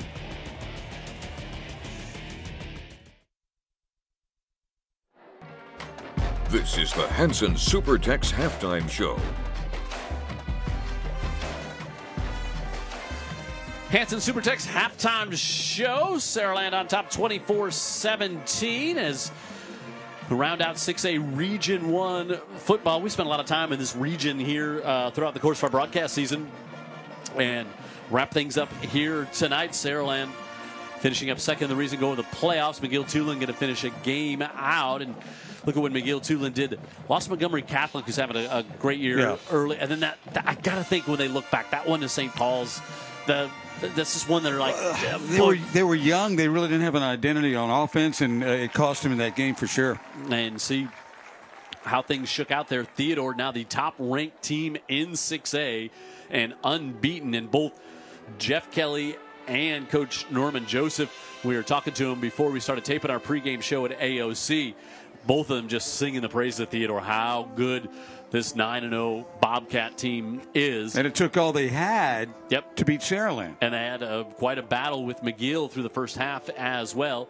Spanish Fort comes in at the number three seed in the region, and then St. Paul's will go on the road. Both Spanish Fort and St. Paul's on the road. Then you got McGill five and four, so they're going to finish up at worst four and four in the region, not make the playoffs. Blount and Murphy. Blount beating up on Murphy uh, here tonight, and then Baldwin County and Robertsdale. One of those two teams going to get their first win of the night. Yeah, and how the season. Yeah, how good was Blount against St. Paul's last week? yeah, just uh, Played it, played them off their feet. yep. And then uh, McGill goes out and then just puts a, a big win against Yep. against Blount. So, Yep. uh, top four teams going on to uh, the playoffs there, and Theodore and Saraland will both be at home to open things up in the postseason. Spanish Fort and St. Paul's on the road. It's this very tough region, and you know it's a. Uh, kind of some of the teams, you know, Blount had some started to see them come on a little bit. McGill Toolen playing better, uh, but the region was it was top heavy for sure all all year. It was, uh, you know, Theodore comes down from 7A. Yeah, Uh, this is their first year in 6A, right? Yep. So they just fitting in nicely in, in the tough neighborhood. No doubt about it. So there are our region standings, and Seward McGill, uh, as we said, did all year that, that tough loss to St. Paul's, and then they go win four of their next six after that. So their losses Spanish Fort, Theodore, and St. Paul's in the region. So halftime here on our halftime uh, Hanson Supertex show. It is Saraland on top by a score of 24 7. We're back after this. Here's a message from our sponsor, Dr. Pepper. Hey everybody, Heather Healy here for Friday Night Rivals and standing next to me is the one, the only Keith Watson, the sales center manager for Coca-Cola United Gulf Coast. You've got a very important piece of hardware in your hand. Tell us what it is. Absolutely, absolutely. It's just, you know, we wanted to make something uh, a little exciting for the teams, the coaches, the players to be able to win this big game because it is a big deal. You know, you get to play on TV on Friday night. Uh, it's it is something special, and I think that in kids and the coaches play and they coach at a different level when they're on TV, and that excitement just adds to that. It really does, and I have to tell you, um, the representatives with Coca-Cola who are out there, they are so excited as well. What's your favorite part about this trophy? Uh, I love the helmet. Yeah. you know, but I do drink a lot of Dr. Yeah. Pepper, so that's a great combination. It is a great combination indeed when uh, everybody, the cheerleaders, the fans, coaches, the players, everyone comes around just Yeah. for this. It's uh, very, very special to see. Just, just a uh, great opportunity. Thank you for letting us be a part of it. well, thank you for being a part of it and being a huge part of this year's Friday Night Thank you. Rivals.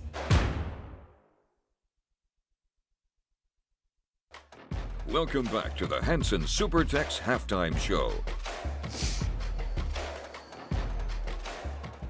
Hanson Supertex halftime show continuing on here from Spartan Stadium in Saraland with a home team number four ranked Saraland on top 24-17. But uh, boy, I think uh, I, I think Saraland, if they had a hope here tonight that maybe jump out and ahead, rest some of our guys go in the playoffs, they're in a tussle right now, as uh, our old partner. Uh, Partner's mother used to uh, used to say, right? Yeah, no doubt. This is a tussle, and McGill made it a tussle two ways. They held Saraland to field goals when Saraland was easily in the red zone or the Dr. Pepper maroon zone. Yep. And then when they got behind 16 to 3, they went ahead and hit some big strike plays and took the lead. Yep. Almost unthinkable. see what Saraland has done here. They have not had a lot of super close games, uh, aside from the, the great matchup down in Theodore last week when the Bobcats kicked a field goal late to win that one 27 26. But they'll wrap things up uh, here tonight, and then next week they'll be right back here at home for a game against Wetumpka, who's 7 and 2 going into their final game tonight. You, if you're a coach, you know, if you're Coach Eric Collier out at Theodore, you uh, you're so happy to get that one seed because one and four is such a difference. That two and three is just all the teams are good in the playoffs. Yep. But one and four, you feel a lot better at than two three. And I think Eric Collier probably does, and he probably just feel happy with the win too. You know, the, holding on to that undefeated season. We haven't seen Theodore this year, but from what we hear, they just have got a lot of really good defensive players all over the field. Maybe not a bunch of guys going D1 Power 5, but a bunch of players that are really good at the high school level. So you see how that changed around last week. It was Saraland ranked number one, Theodore ranked number three. After the win, Theodore vaults over everyone. They're the top team going into uh, the playoffs. They right now lead St. Paul's 6 0 at the half. Clay Chalkville second, Hillcrest Tuscaloosa third, followed by Saraland, Hartselle, Gardendale, Muscle Shoals, Mountain Brook, Center Point, and Carver Montgomery as we will have some of our local teams matching up uh, with some of those teams here in the top 10 to start the playoffs next week as well. Here in our Hanson Supertex halftime show, it is a 24 17 lead for Saraland. We'll come back for more on our Hampton uh, Hanson Supertex halftime show here from Saraland right after this.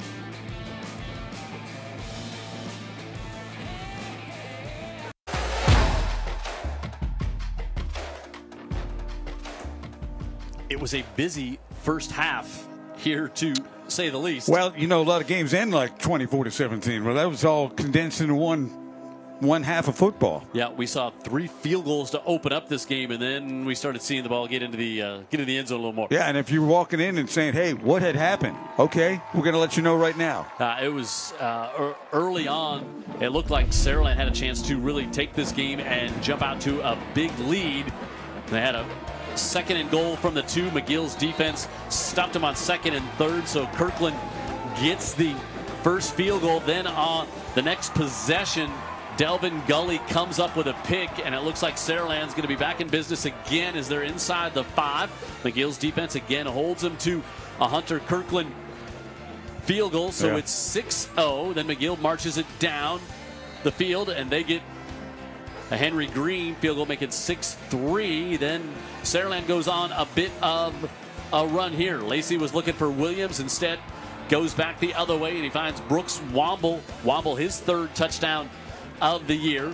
And Murchison on a fourth down scrambles, not really what he's known to do a lot, but gets it there, keeps the drive alive, and then he's able to get it to Roscoe Haywood. Middle screen worked a couple of times in the first half. And then up top, this one from 50 plus to Anthony Eager. That put McGill on top 17 16. Then the next play, KJ Lacey, 53 yards, puts it in the hands of Ryan Williams, the Alabama commit, and he's off to the races. And that's where we get. How about just 46 rushing yards in the first half combined between the two teams? And we got 41 points on the board. 45 rushing for Saraland, 21 for McGill. Not much on the ground. These teams have been tough at the line of scrimmage. McGill's actually outgained Saraland, but those big plays from Ryan Williams, uh, and of course, Saraland's had the short field. they've had the short field with all the punt returns and kick returns that have Yep. set them up in great field position. Both bands dazzling here at halftime. Agree. McGill and the Spanish, uh, the St. Paul. Uh, I'll get it right yet. The Saraland band. That's them. That's a red. That's a red in all three of those schools. 24-17 here at the half.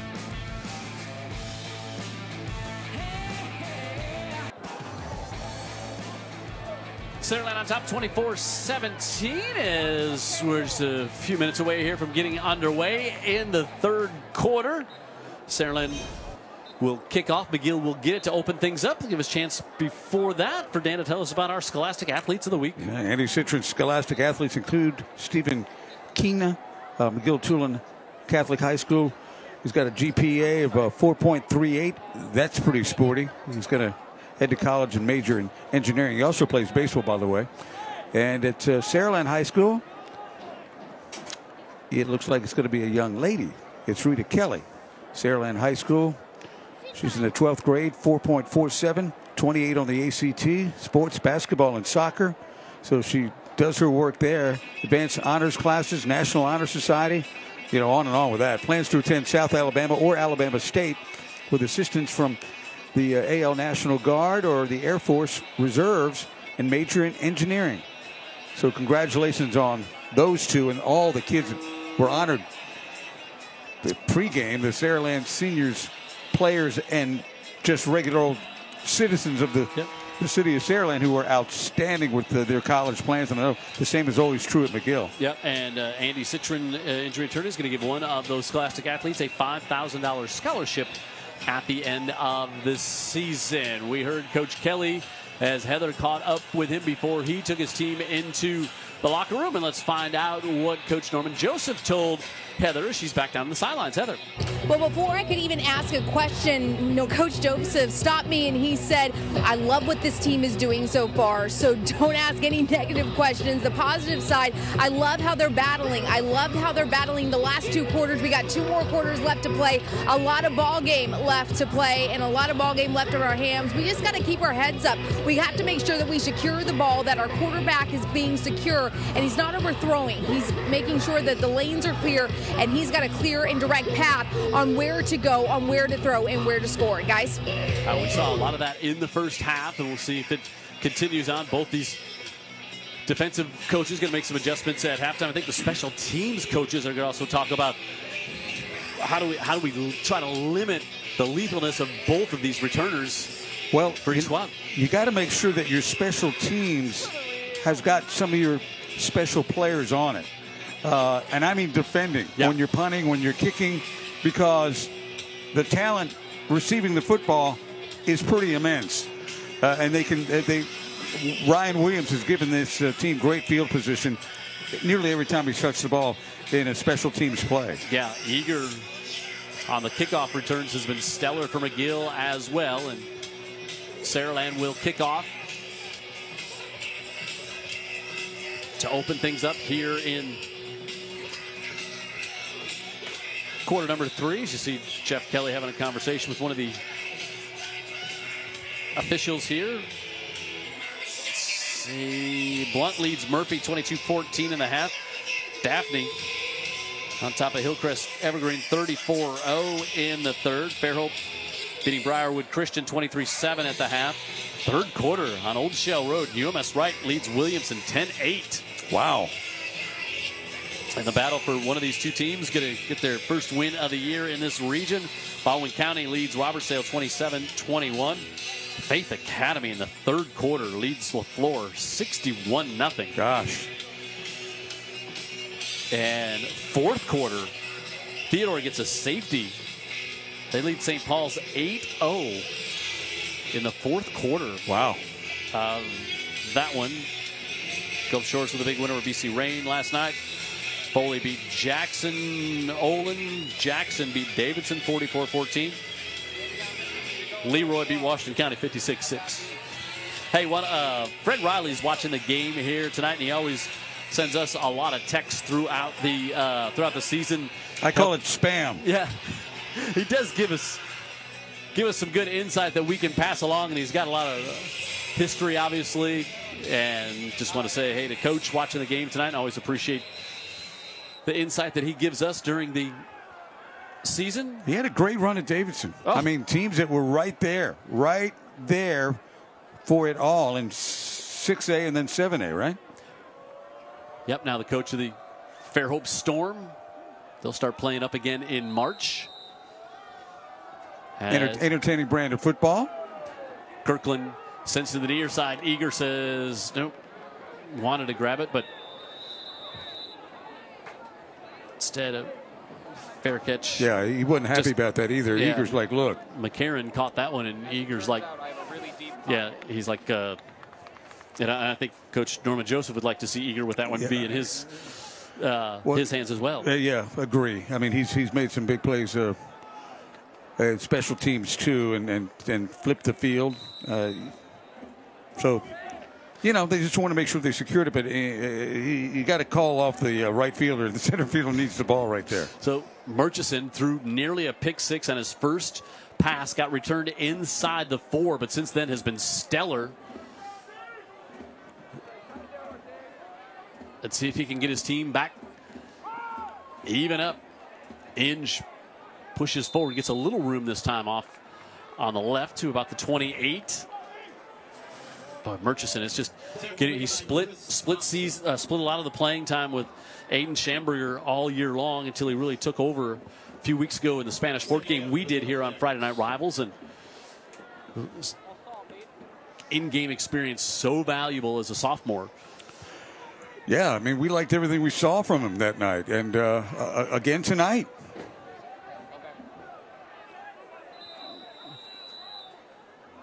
Can't do this if you're McGill. Yeah, gonna have to take a timeout. Somehow, white team. First time out of the half. The snap. Coach Joseph not happy about that one, so we'll take a timeout just underway in the third here on Friday Night Rivals.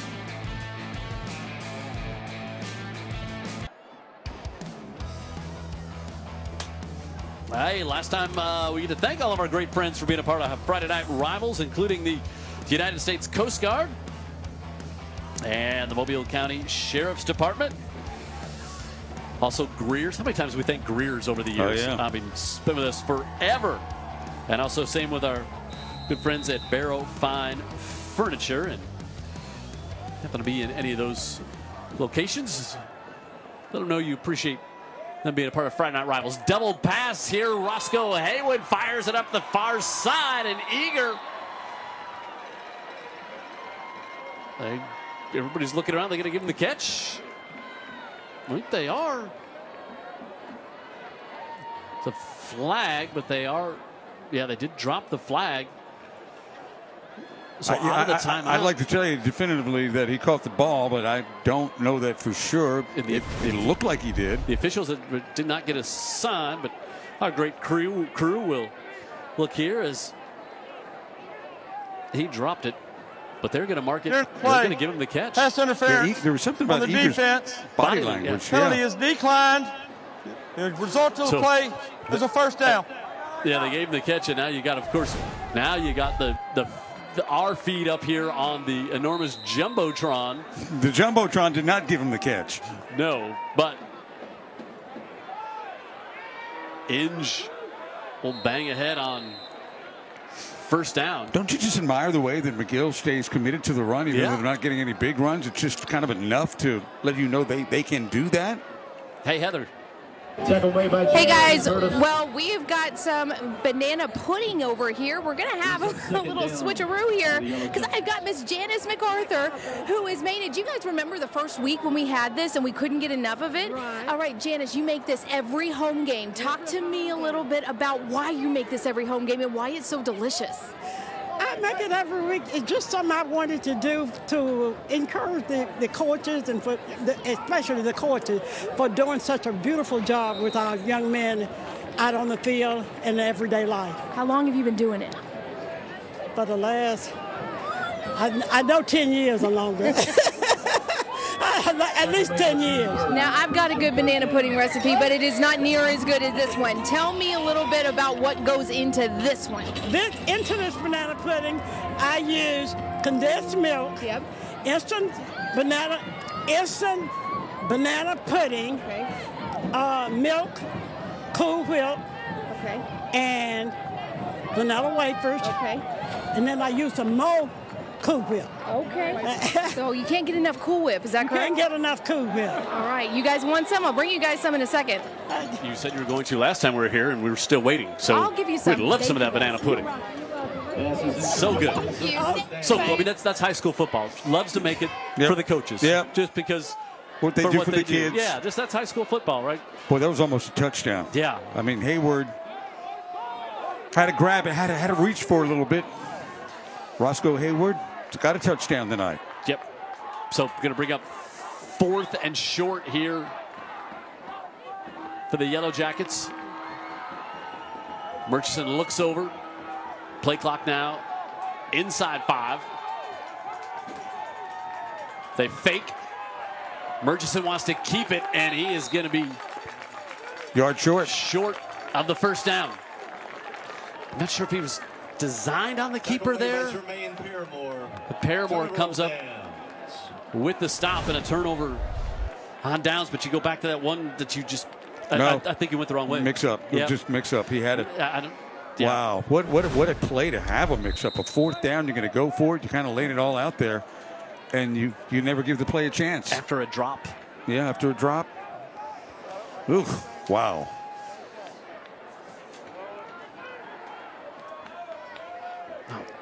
Lacey back to Williams, and Williams tried to break a tackle, but he has wrapped up Shamar Welch, the junior. Welch is very well aware of what he's dealing with out there in Yeah. Ryan Williams. Seven picks and six PBUs on the year for Yeah. Welch, but a good open field tackle, which Great. is not easy to do. No, great tackle by Welch, and he is a good player. That's why he's matched up with Williams. Otherwise, what are you doing there? Yeah, those two can be lined up next to each other next year, across from each other next year as well as give to McWilliams, and this time off the left side. Sante McWilliams still on his feet inside the 30, 20, 10, and all the way down to the 7.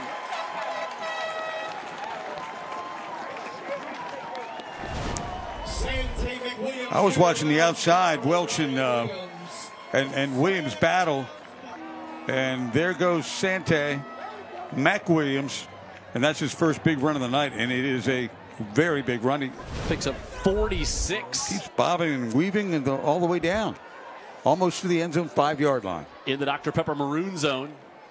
They go right back to him, trying to squirt through on the right side. This is where McGill has really done a great job forcing three field goals from Saraland having it inside the five. Yeah, and I think I've mentioned they were at the five there. They were actually at the seven, so he picks up two. And you're right, they really have light to the right side. This McGill defense again.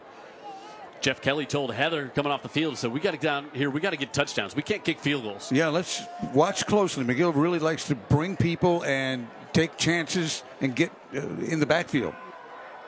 And that's what they do again. Yeah.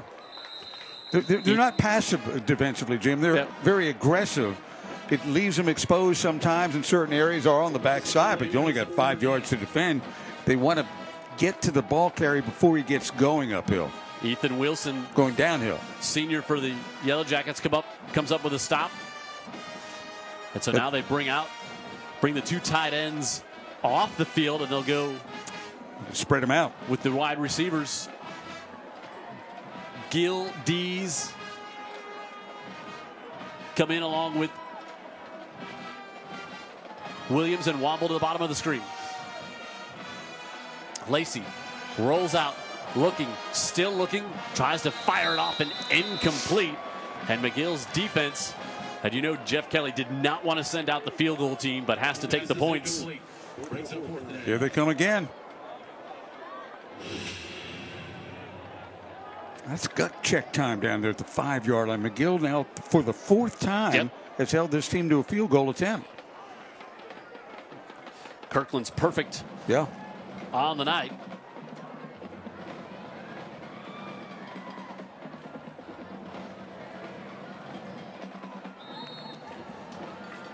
And he'll stay that way.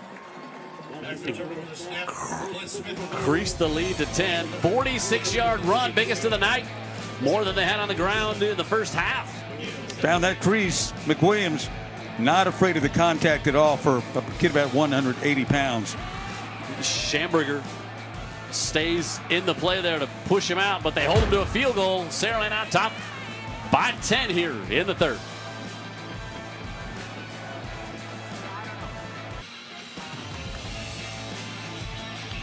Five minutes gone by here in the third. Saraland, six plays, 59 yards, two minutes and 17 seconds to increase their lead to 10. Okay, so I'm just going to go out and say it. Go ahead and say it. Miss Janice MacArthur's banana pudding is the best I've ever had in my life. That was a big scoop you put in your mouth there. That wasn't like kind Well, I didn't have a lot of time. I like Well- quick 30 second time out. Yeah, well, you didn't. I wanted to give you, it the you- taste. You, didn't take a lot of time. Eager. What, what are you? Is this some sort of Coney Island thing? what, what are you doing there, Jim? Well, I wanted to, I just wanted Okay. to get it. Heather delivered it up to us. She did, yeah. No, I'm just talking about just uh, etiquette here in the Western world. how, you, how you eat something in front of others. Well, just, uh, Let's- let's think about that a There's little bit. multiple spoons in there. Yeah, so okay. Just wait till the next commercial break and see That's fine. what it looks like. Oh, best banana pudding I've ever had in my uh, in my life. All right, so McGill's defense gets the stingy stop down in the red zone to hold to a fourth field goal here tonight. And you know how many games you you see where you kind of let a team hang around, hang around, hang around, and then pretty soon something happens in the fourth quarter. The team is hanging around is back on top. Still committed to the run. You like that too? It keeps the clock running, kind of shortens the game. You, you just see you don't want to give Saraland a lot of touches. Yeah, you not, no quick th- three and outs, you know. Ah, see. There you go. Hang Huh? on. Here we I go. had to go back. I- you take the play-by-play on this one, Dan? Huh? Well, right back them. Second down. McGill, two. Hey, this play by play stuff is easy. Second down, McGill. Oh, so good. Play action, eager. And he is clocked right there at the line Ah, of I'm good. scrimmage. I'm done. I'm good. Just easy there. Easy. I got it now. Right. So We bring got up. it's third down. Yeah, thank you. Oh, thank. Oh, that banana pudding. So, uh, so good. So, just trying to get some isolation here. And how, how about how about the job Crenshaw to fight through the block Yep. to get to Eager. Right. Third and nine for the Yellow Jackets. Down 10. They have led in this game in the first half. We're on top 17 16 at one point. Murchison rolling out, looking, now wants to go deep again, middle of the field, able to find it. And he's got Roscoe Haywood. And Haywood with a catch and a flag. Boy, Murchison looking over the whole field. Yeah, you know what happened, Jim, when he when he rolled out and broke contain on the edge there. Not the fastest kid. That just gave him a little time to breathe and look downfield, and then he delivered. And you got to feel there's going to be yards added on to this at the end of the play. Well, they give McGill a catch uh, on a similar ball that they didn't really catch. This is probably going to be face mask at 15 yards. So let's watch. I love. There's a, it's not a good snap. He rolls out. That was not scripted into the play. Second read. During the play, Yep. personal foul, face mask on the defense, 15 yards on the end of the run will result in a first down. all the way up to the 31. Haywood's having a big night here tonight. And McGill trying to get back within one score. Want the screen tipped. Incomplete is Antonio Coleman, the sophomore. Pass is tipped. Got his hand on that one, deflected it up, and Brings up second down. Boy, tip balls are just never the offense's friend. No, especially over the middle of the field. Three Yep. catches, 53 yards, including that touchdown on the middle screen for Haywood. And the long pass completion Yep. as well. It was ruled a completion to E- Eager. That, that was to Eager, right? Uh, second and 10. McGill kind of got down here on the first drive and stalled and turned it over on downs on some miscommunication on the fourth down attempt. This time Murchison keeps it himself and he slides and he's going to pick up about nine. Oh, he's mad with himself when he looks over where the sticks are, realizes he started that slide a little early. But it's two down Yeah. territory, you know. Still would. Isaiah Bowie was coming over. Might, still might not have been a bad business decision there to take Yeah. the, the slide as You know, I- quarterback. On the first down, brings up third short. Showed a little quickness there. Yeah. And again, Saraland probably not expecting him Yep. to pull it down on a keeper. No.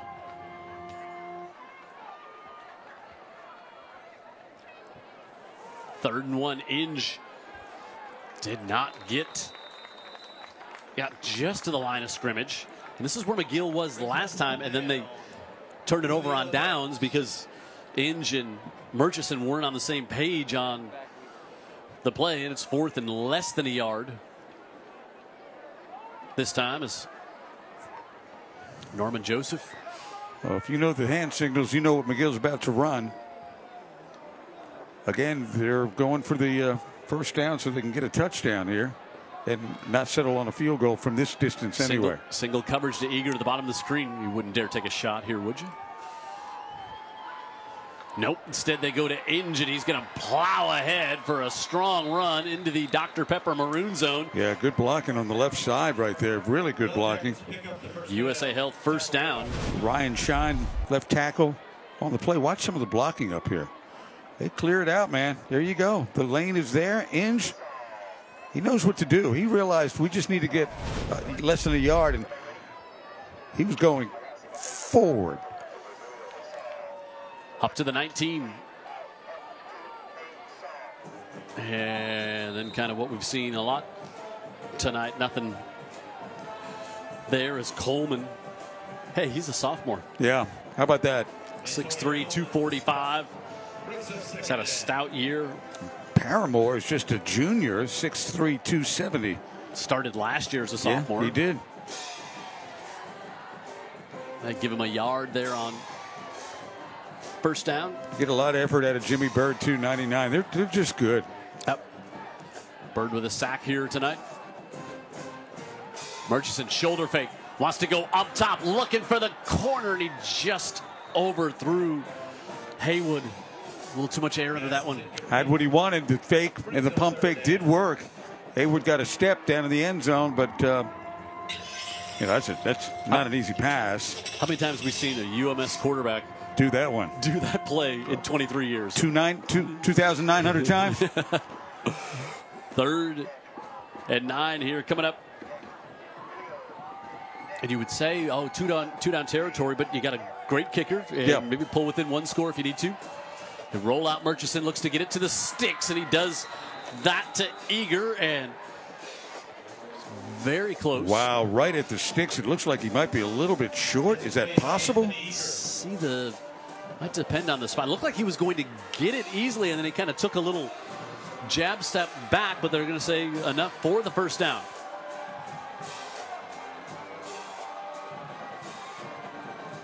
So first and goal. Just inside the 10? Yeah. Okay. Eager with another catch here tonight. He's compiling quite a night. USA Health first down. There's a clock down inside through McGill. You have to hurry to get this one off. Murchison does. Now they flip it back. Coming around the other side is Haywood. Haywood trying to get the edge with a little high step. Spins. There's going to be a flag. That one's going to come back. I just like. don't know. You know, it's the it's the, the player that can't defend himself. You got to block on the play. I get. I don't know.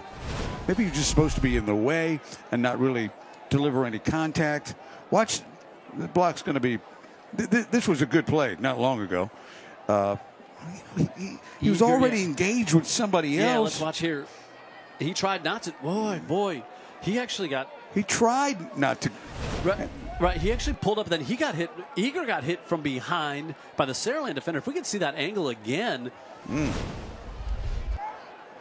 During the play, Watch here. So holding watch coming in on from the, the, left hand side. There's the Eager. 10 yard penalty. I guess they're saying foul. that's enough. We'll replay. First down. That was that the holding? I, I don't know. I, I didn't see it all the way through. We were not isolated on Eager. Takes a touchdown off the board. Mm, mm, mm. Now, you know, if you're Saraland, you're saying, well, you gave him a 20 yard catch. Easy. So first and goal now back from the 12. Murchison, middle of the field, fires, and he's able to get it complete to Schamberger for the touchdown. How about our guy, Schamberger pregame show guest? We liked him a lot then, like his daddy a lot. He's an assistant coach, former head guy, BC Rain and LeFlore, and not normally an offensive player. But I'll do what it takes. And this ball, watch, not perfect. It's behind Schamberger. Look at him use those strong hands, Jim. Coverage by Gully, who's got a deflection and an interception tonight, and Schamberger, who just in recent weeks, and the PAT sneaks in in recent weeks, has moved over on the offensive side of the board when they need a big play. And now McGill Toolen has cut the lead to three.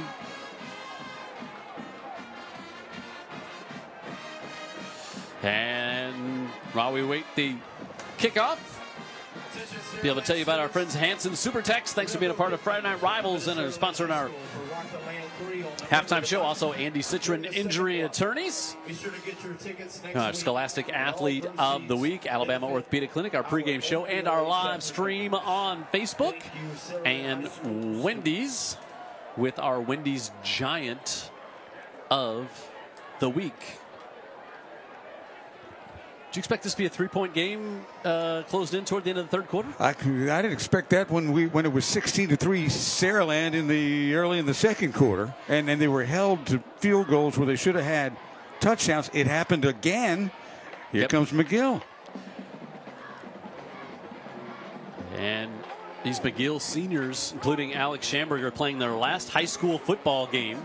And what a memory he's got with the touchdown reception on that drive.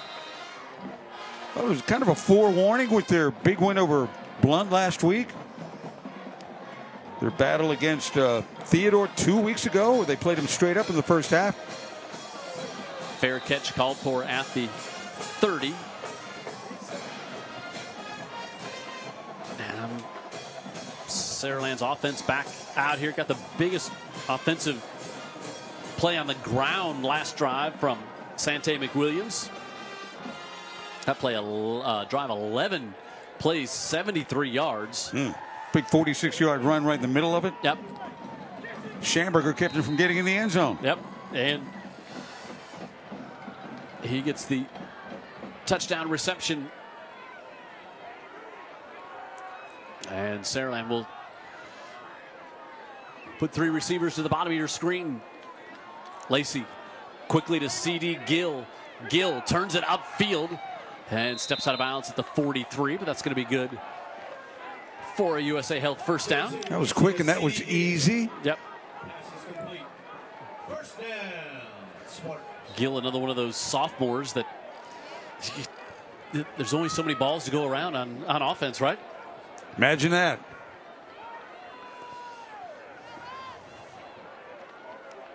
McWilliams, right side, puts his Ooh. head down and barrels forward. He's going to have 13 into McGill territory Yeah. for the first down. Later in the game now, we're heading toward the fourth quarter. You know, you're maybe a little tired of all this. He's not. He can't wait to the uh, later stages of a game and, and begin to rack up some yards and, and take your will away. Up to the 43. Lacey looking for Williams, who's got some separation, and he just overthrew him by a yard. Oh, he got a little step on Welch. And Lacey would like to have that one back, I think. No kidding. Boy.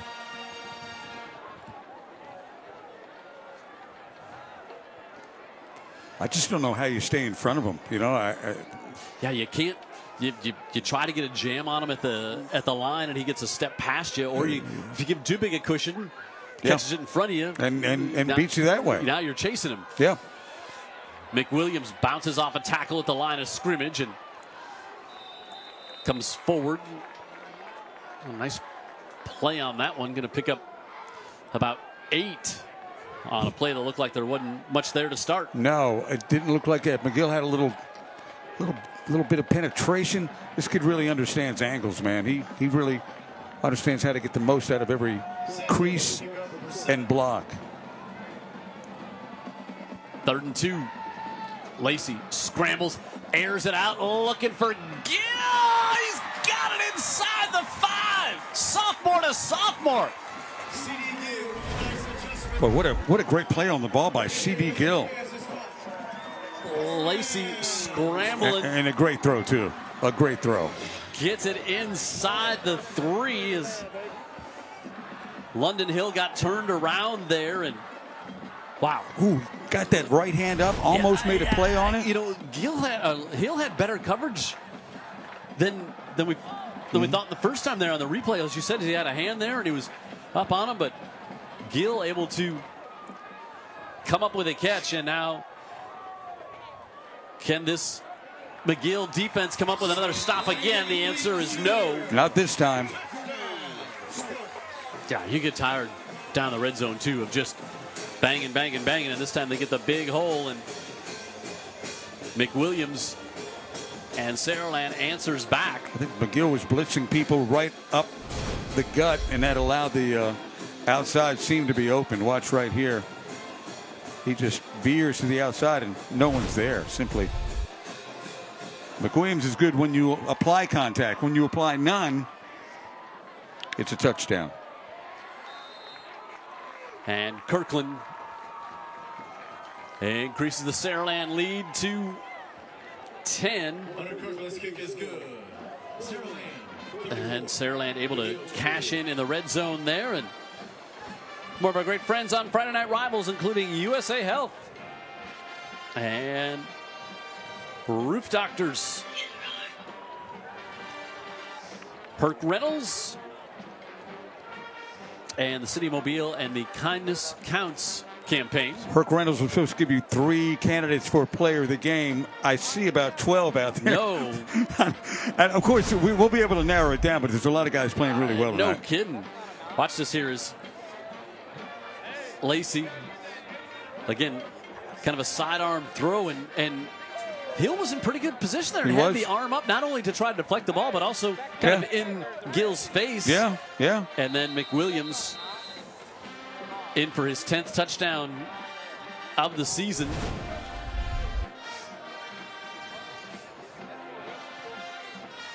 And now Eager at the 25. Better coverage this time by Saraland's. Eager will get to about the 35. Good, good field position for McGill. Remember, early in the game, it was atrocious for Yeah, them. No question. Field was so slanted. But still, a lot of time left.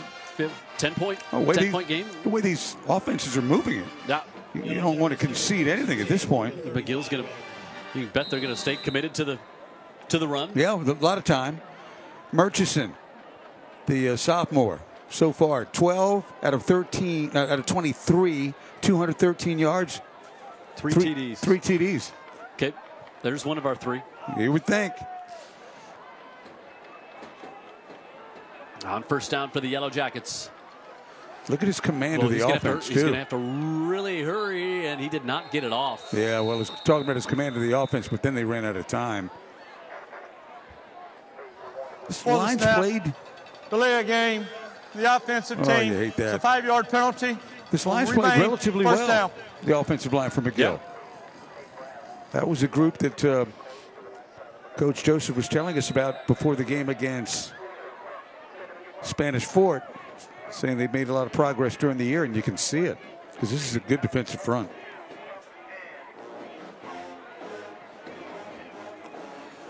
So first and 15, inside a minute to go in the third.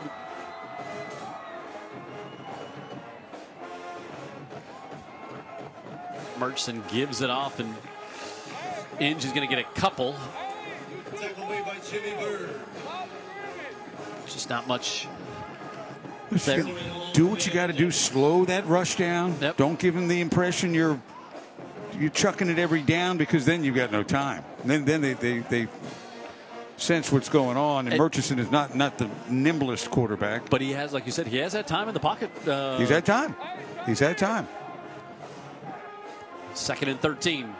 Murchison looks right, fires, and that one had pressure coming in on him, and that one went behind his intended receiver. Will bring up now. You got now you got third and long coming up here. Third and 13. Something else, Jim, that his receivers are getting open.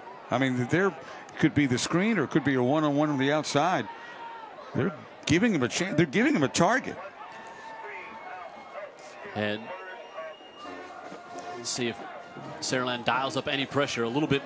Murchison rolls out, fires, looking for the sticks. And Roscoe Haywood is going to have the first down. Wow, what a play by Murchison to avoid the the pressure and converts the first down right at the stick on third and 13. Ready to go to the fourth. CD Gill got him down inside the three on the catch from Lacey, and then Sante McWilliams Jr. with the touchdown to put Sparty back on top by 10.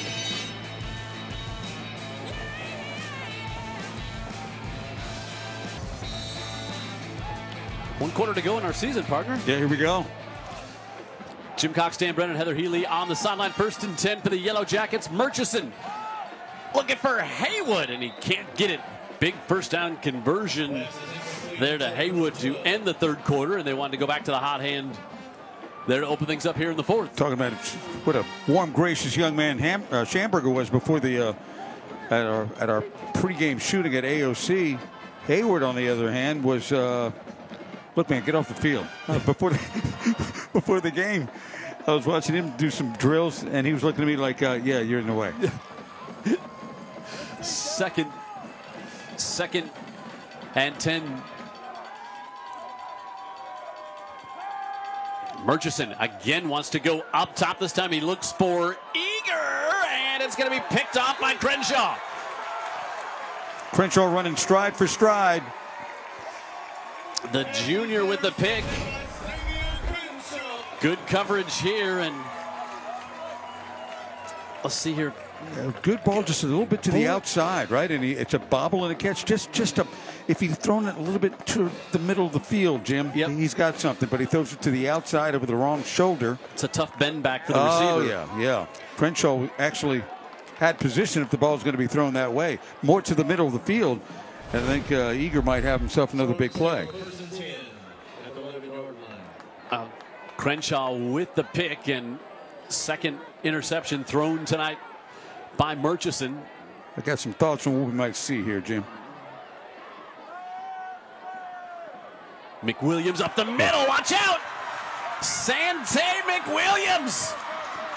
Will he go to the house? 89 yards. Yes. Spartan touchdown.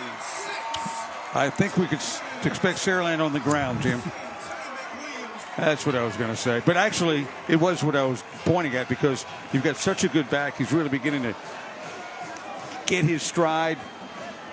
You want to shorten the game and win the game at the same time, and you can with McWilliams, and there you go. He's going to go over 200, I think, now. Yep.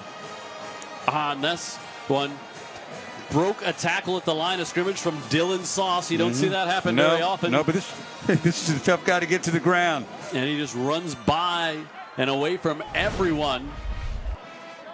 Yeah, I was thinking the same thing.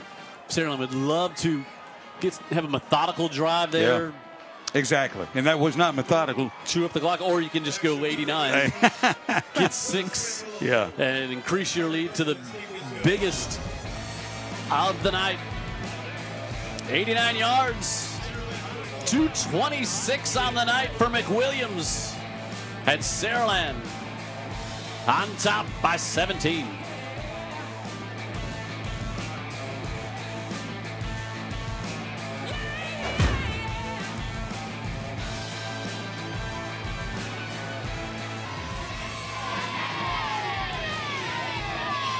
Just underway here in the third.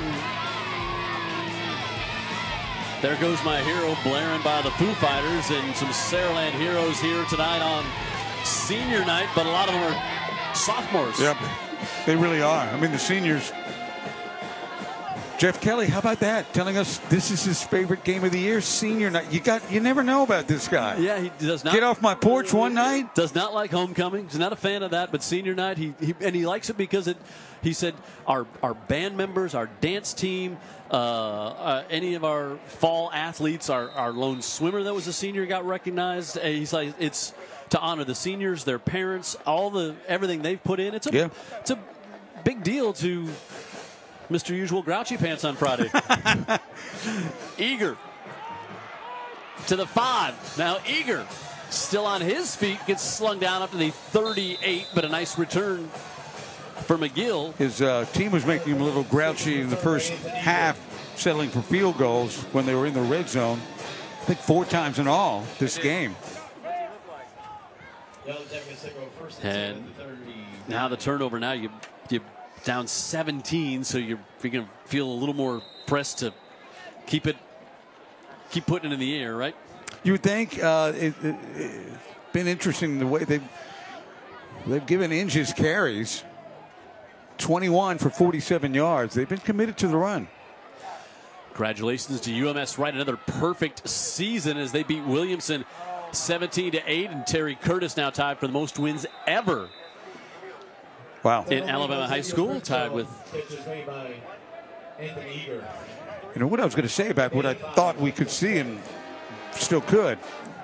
McWilliams on the ground when Saraland's got the ball, and just quick stuff. Yeah. To to uh, Williams, let him make a big play uh, on a screen or on, on a quick uh, a quick out at the line of scrimmage. You know, want to outside screen. Also want to congratulate the Theodore Bobcats on a perfect season, ranked number one in 6A. It's not much there on second down for McGill. Theodore beats St. Paul's tonight 16-3. So Eric Collier 10-0. What a season for the number one ranked Bobcats. Fairhope, a nice win tonight over Bessemer. 44-22. Tough place to go on the road. At Birmingham get that win. Daphne beat Hillcrest Evergreen 34-14. Murchison comes to the near side. Going to be a first down into McGill territory. Tristan Brower, the senior, with his first catch tonight. Hey Jim, good throw. Yeah, on the move. Yeah. As you said, he's a big, he's a big. I think he's he's more agile than I think he at maybe first blush Then when you, you look Mhm. at him. I think he's got better mobility than Yep. maybe Pro- you think. Probably so. Uh, you- You're not going to ask him to do too much, but he's able to, you know, roll out of the pocket, make a throw on the run. He can do a lot of things for Yeah, even just moving the pocket a little bit Wow. really helped. 15 years old, way ahead of the game. But Low the snap, The yep. snap's been low. Up top wants to take another shot. So he tried to go right back to Eager. Eager, the senior, playing his last game here. Middle of the field. Yep. You know, just lead him a little bit more toward the toward the post. That's a post route. Throw it to the post. Give your guy a chance to run to the ball. Yep. Not have to try to work back through the defender. he, still a nice ball, and he. Eager going to south, you said, right? Yep. And he will obviously be a speed guy on the outside for them. That uh, speedy receiver from McGill to South thing has worked out well in the past. right to the Cowboys. Fired up and broken up as that time Isaiah Bowie, the sophomore, his fourth pass breakup of the year, third and long coming up. Bowie 6'2", 195. Like you said, a sophomore linebacker way downfield in coverage. Yep.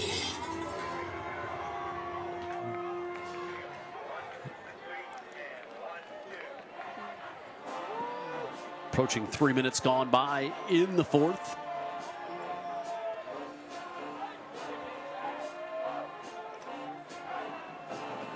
Murchison, pressure coming, wants to set up the screen. That one too high for Haywood.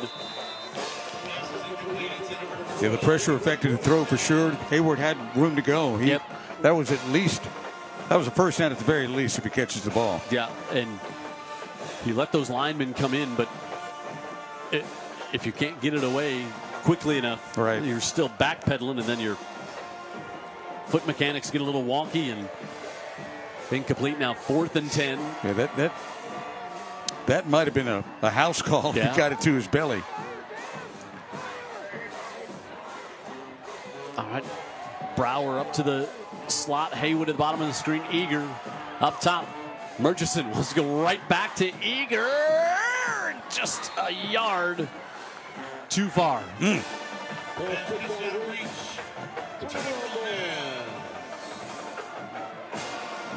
And a turnover on downs. As now we're inside nine minutes to go. Now you, you're Saraland, you'd love one of those five or six minute drives here, chew up a bunch of clock. But give credit to McGill. They've extended this team. Oh. They pushed them. I know it's, you're looking at it 41-24, but uh, believe us, until McWilliams' big run last time they had it, this thing has been very contested. Yeah, no, uh, no stars getting a quick hook in this one to rest for Wetumpka. Nope. McWilliams, guess who? Dylan Sauce. Another young man playing his last high school football game. He plays every game like it's his last. How about Coach Norman Joseph saying, uh, I'd love to have as many Dylan Sauce mom parents as I, as, as I, I take everyone if they were all like his mom. He just could not sing the praises of that young man's mom. Yep, she pushed him, and and he responded. And she's also been, you know, the, as a parent of a of an athlete, you play a role too. Yep. Lacey on the right side, and he'll step out of bounds there. Good job by McGill to not only keep Lacey from maybe taking off, but also the good coverage downfield. What I mean by that, Jim, about being a parent playing a role, you have a role too. And the role is to not be negative. The role is to be supportive. The role is to stay out of the coach's way and the coaching staff's way where they're trying to do their job. Your child is in their world. Let them grow up. Yep. Support your your child and also the coach, right? Yeah, Support your yeah, coach. absolutely. And Saraland takes the play clock, play clock all the way down to zero. Lacey, a shot to the middle of the field. It's going to be very close. He's a little short. Jordan Dees, the look at the spot. Oh, Uh, far side spot looks like going to Give him the first down. Yeah, right there at the sticks. Good hit. Good good hit on the play. Yeah, good awareness by Dees to get right to the stick. Lacey steps into this one and fires that one off, and London Hill wrapped him up immediately, but not before he picks up the Roof Doctor's first down. Keep talking about Williams. Don't think Lacey isn't going to be somebody that everyone is after by the time he's a senior. McWilliams, Dylan Sauce with another tackle for loss. Man, I missed my opportunity to shake that kid's hand before the game, but it'd be my pleasure.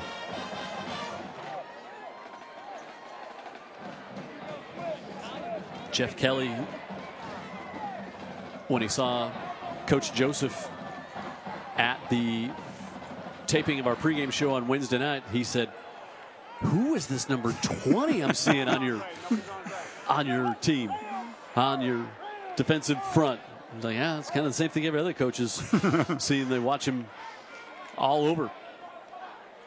Inside seven now. Lacey, middle of the field. It's dropped. Oh, he had Jordan Dees, the junior, who had six. He certainly did have six. Another slant, and uh, kind of a deep slant, kind of a post, but he he uh, just a hair behind him, I guess, Jim. Yeah, I think we're seeing. I think we, maybe we've seen. The last of Brian Williams. Yeah, I think it's. Uh, I was trying to look on the. See if we can, no, he's out here on the bottom of your screen. Okay. Thought maybe they might have spelled him, but He's got a got a big cushion. A handoff, McWilliams breaks one tackle, but he's up to the 45. Going to bring up fourth down. Is this one will be under six minutes to go? See if see if Saraland's going to punt this one. Looks like they're going to go for it right now on fourth and seven. This will keep everybody out here. Maybe they go a hard count. Maybe just run the clock down. See, there was the hard count. Now, Lacey inside 10. They snap it. Give it off to McWilliams on the left side, and McWilliams has got the first down and delivers a blow at the end of the run to the 25. Yeah, McWilliams just shot right through the hole, provided by Crenshaw. Ethan Green on that left side. And boy, you know, the, the people tackling him are getting tired, and he's getting stronger. And that's why it, that's uh, 245 yards. Wow. And not a not I mean 22 carries. This it's a big big night in carries and also in yardage, but he had to grind for a lot of them in the first half. He did. Zipped to Williams. In case you're wondering if he's still in the game, that would be yes. Then he gets thrown out of bounds on that one. Catch is made by Ryan Williams. That'll stop the clock, and now they'll start it back up. Gain of nine on the play. Second down. Both these quarterbacks for sophomores really have got a really good grasp of what they're doing out there. I mean, they're they're, they're a lot is asked of them. Oh, so much is asked of them, and, and they are really good players and really good leaders. And they certainly, at, at that age, you kind of have to lead by doing things rather than by being a vocal guy. And that'll come. McWilliams down inside the 10. Nice run by Santiago McWilliams. And now flags at the end of this one. Up at the top of the screen. Some wide receiver blocking downfield. Is that what's going on there? Yeah, probably some, obviously some, maybe some frustration on the defensive side. Ooh, did I just see a thumb like that was going to be an ejection? Hmm. It looks like it because I saw it again. He's going to go over and have a word with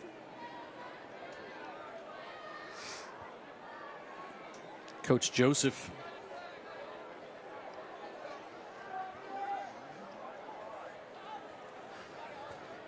All right. Tim Porter is going to come over and have the same conversation with Jeff Kelly,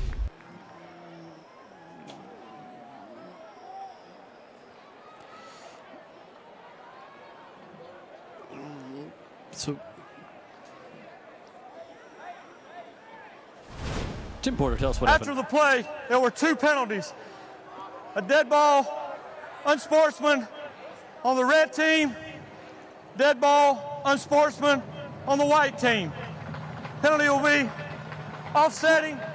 It's going to be second down. All right. So no ejection. That's Mhm. good. Yeah. Just some pushing and shoving at the end of the play, and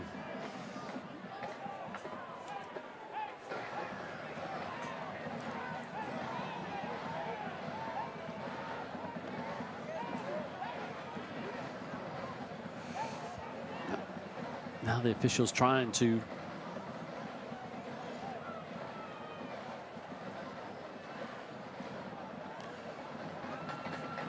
Not sure what they're trying to sort out here now. Is uh, Coach Joseph coming out a bit now. Tim Porter. A first down had been achieved on the play prior to it. It will be a first down, Saraland. All right, so it is a first down for Saraland. It's a Roof Doctors first down, and this one will be near four minutes when we snap.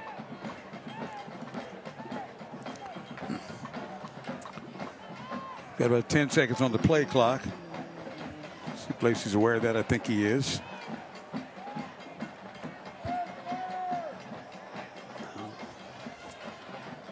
Lacey Kingston Bush. It's his 13th carry of the season as we start to see some maybe some substitu- substitutions on the Saraland side. You wish the big back play some linebacker as well.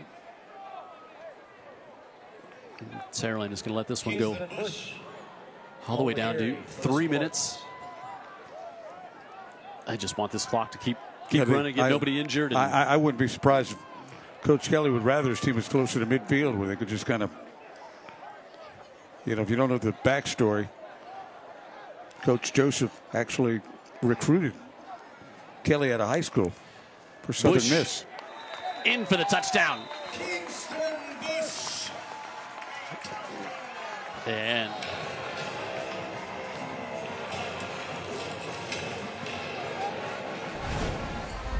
Kingston Bush, you know what year he is here at Saraland, Dan Brennan? Sophomore. Yeah, he's a sophomore. Aren't they all sophomores? That offensive line's got some grown men, I'll tell you that. And Saraland pulling away in this one, and Kirkland will try to stay perfect on the night. And he does. And Saraland uh, doubled up McGill 48 24, three minutes to go. Kingston Bush, his second touchdown of the season, builds on the Saraland lead.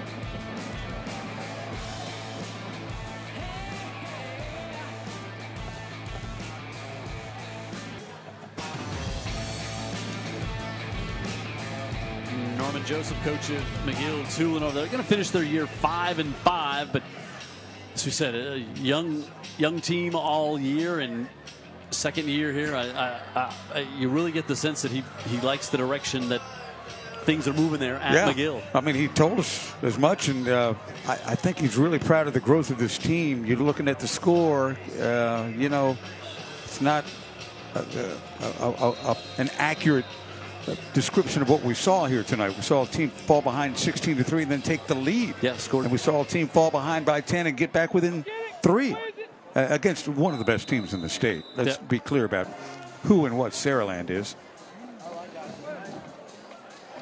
And now we'll see lots of fresh jerseys out there on defense for Saraland with three minutes to go in this one. And Saraland going to finish the year 9 and 1. They'll host Wetumpka. Wetumpka, Wetumpka. Wetumpka. It's kind of depends on where you put the inflection, I guess, right? Wetumpka. Yeah, it's almost like a. It's almost like a W U H in the Wetumpka. Got it. So I said it right the first time. Yeah, it's not- not, it's not W E E. If you're, we're now we're doing phonetic, phonetic pronunciations on TV, Yeah, which we're- is we're now- viewers are loving. Right, we're on PBS suddenly. Yeah. Oh. Can we move past that? We, we did a uh, we did a Wetumpka playoff game against McGill. We did. a few years back. We did. Murchison fires this one. Good break on the ball. Coming over there, Artist Moffat, sophomore, will get credit for his sixth breakup of the year. And coming up is our Dr. Pepper one of a kind player of the game. No shortage of choices there as well. I would say not. 48 24.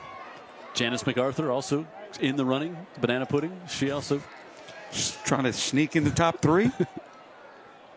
if I get a vote. Third down here for the Yellow Jackets. Complete. Nice work by Murchison. Able to keep this drive alive as it's right back to Eager. And that, that young man's not coming off the field in his last game as a senior no. at McGill. No.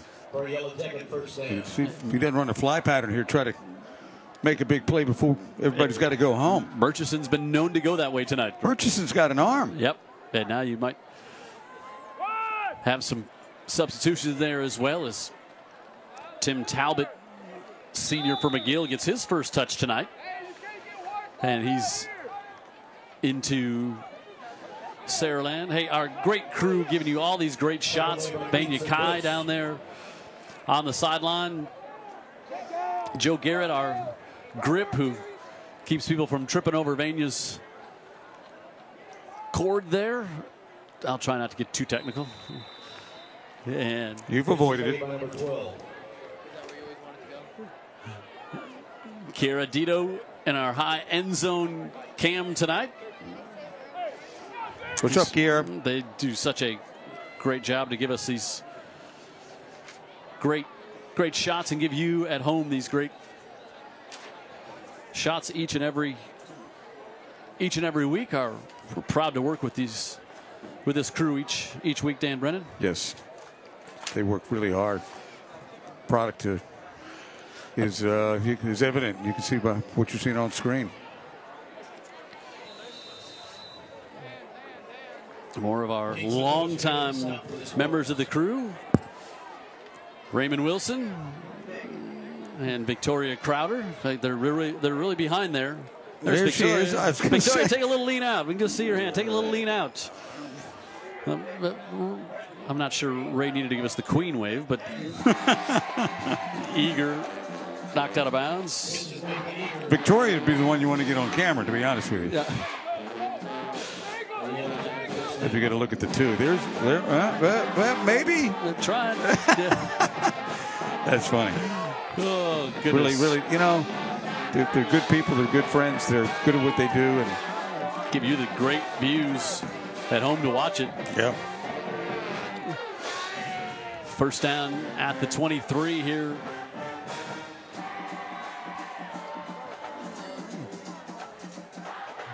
For McGill.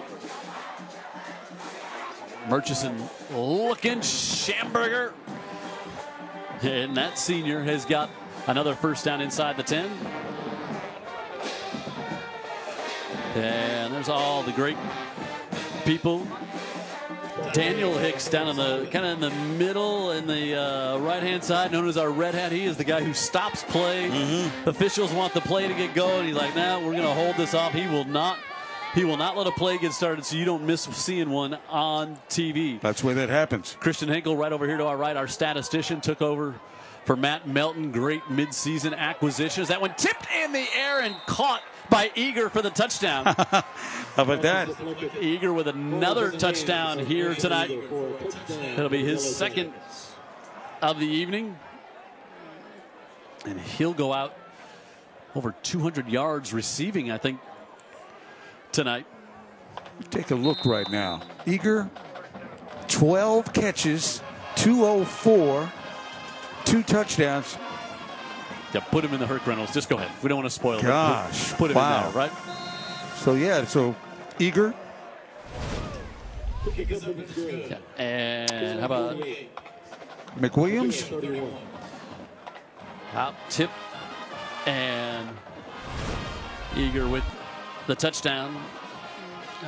So I was just saying, it's really rarely good for an offensive team when the ball gets tipped in the middle of the field, right?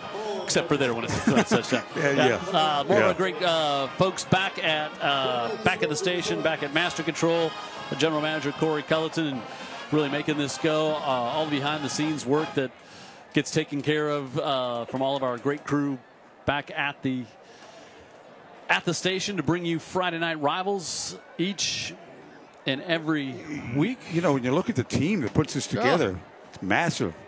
So, so great and really appreciate everything they do.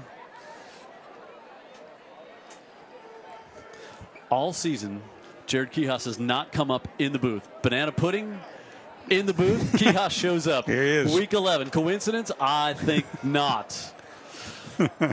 Jeff Kelley, little bit of a smile there as his team again nine and nine and one. What a what a everything they're building up here in Spanish Fort Yeah. uh, in Saraland from the facilities, the new track they just unveiled this School is this expanding. week. Yeah, If they if they need it or they anticipate they're going to need it, they figure out how to get it. And and uh, that senior night, all those seniors recognized, and I'd say 95% are on the college. and that will be, caught and. I think just a need to close this one out, and couldn't do it with all of our great supporters. Dr. Pepper Sonic, United States Coast Guard, Greer's, Barrow Fine Furniture, Hanson Supertex, Andy Citrin Injury Attorneys, Alabama Orthopedic Clinic, Clinic. It's really not the one I thought I was going to blow in that sentence. USA Oh, Health, you had your doubts about one of them, huh? Roof Doctors, City of Mobile, and Herc Reynolds. And our Dr. Pepper player of the game is Sante McWilliams. As Dan said, 23 carries, 253 yards, two touchdowns. Big second half, too. Yep. Our one of a kind player of the game. And There's a lot of players that played well tonight. And that should do it. And it will. Saraland will finish 9 and 1. McGill finishes 5 and 5. They'll wrap up their season. Saraland at home here next week in the playoffs. Hey, I also want to thank Vince Early. He was our director, worked with him all year long. Really great working with him. Got our officials who have told us they were getting, they're going to blow right by us here and get out of the press box and get on to their big post-game celebrations. And they did just that, didn't they? I, Dan I don't know. I don't know where they're going. I have no idea, and, and I'm not following them. Such a such respect between those two. We're back to wrap it up tonight and for the season from Saraland. After this.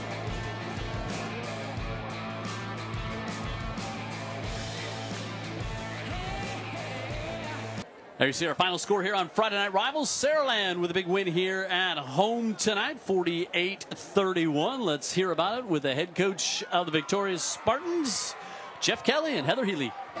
Coach, transitioning into the fourth quarter, you told your sideline to dial it up. Shortly after they get an interception, shortly after that they get a score. Is that dialed up enough for you to put the game away? Hey, we're just happy to get the win. You know, a lot of credit to McGill. They came out and played a heck of a game. Coach Joseph and his staff did a good job. You know, we, we uh, you know come out here and, and put up some points and you know had some mistakes on both sides of the ball. We'll get corrected for next week. And so, but uh, you know, wins are hard to come by in this region. We got good teams week in and week out, uh, so we'll take it. We're happy to get the W. You end the regular season on a positive note, Coach. How does this momentum transition into playoff week? You know, hopefully it does. You know, the thing that you got to do a really good job of is when you get to the playoffs, everybody's zero and zero. So the nine and one is nice, but it really doesn't matter. Everybody's zero and zero. You just want to go try to get a win. One game seasons from here on out. This is one of your favorite nights of the year, senior night. How proud are you of these 14 seniors that played their hearts out? Really proud. You know, they, so our seniors, they had some great games. I, I, can name several of them right here that did a great job tonight. They just uh, outstanding examples for our young guys and uh, have brought a ton to our school and our program over the last few years. And we have a representative from Dr. Pepper to give you the game-winning trophy. Coach, on behalf of Coca-Cola and Dr. Pepper, congratulations on the win. Thank you. I appreciate that. Appreciate what you guys do. It's nice to get one of these. Appreciate it. Guys. All right, thanks, uh, Heather. Thanks, Jeff Kelley, and give you our Herc Reynolds players of the game. You can go to utv44.com tonight to vote on these players. Ryan Williams, Sante McWilliams of the victorious Saraland Spartans, or Andrew Murchison of McGill Toolen. So our final score here tonight, 48-31. Dan Brennan, another year in the books, brother. Yeah, a lot, a lot of fun, Jim. 23 years, love it. You got it. Love it. Thank you to our entire crew. Thanks to Heather on the sideline, Vince Early, our director, Christian Henkel, our statistician, Dan Brennan. I'm Jim Cox saying good night from Saraland, and it wraps up another season of Friday Night Rivals here on UTV 44.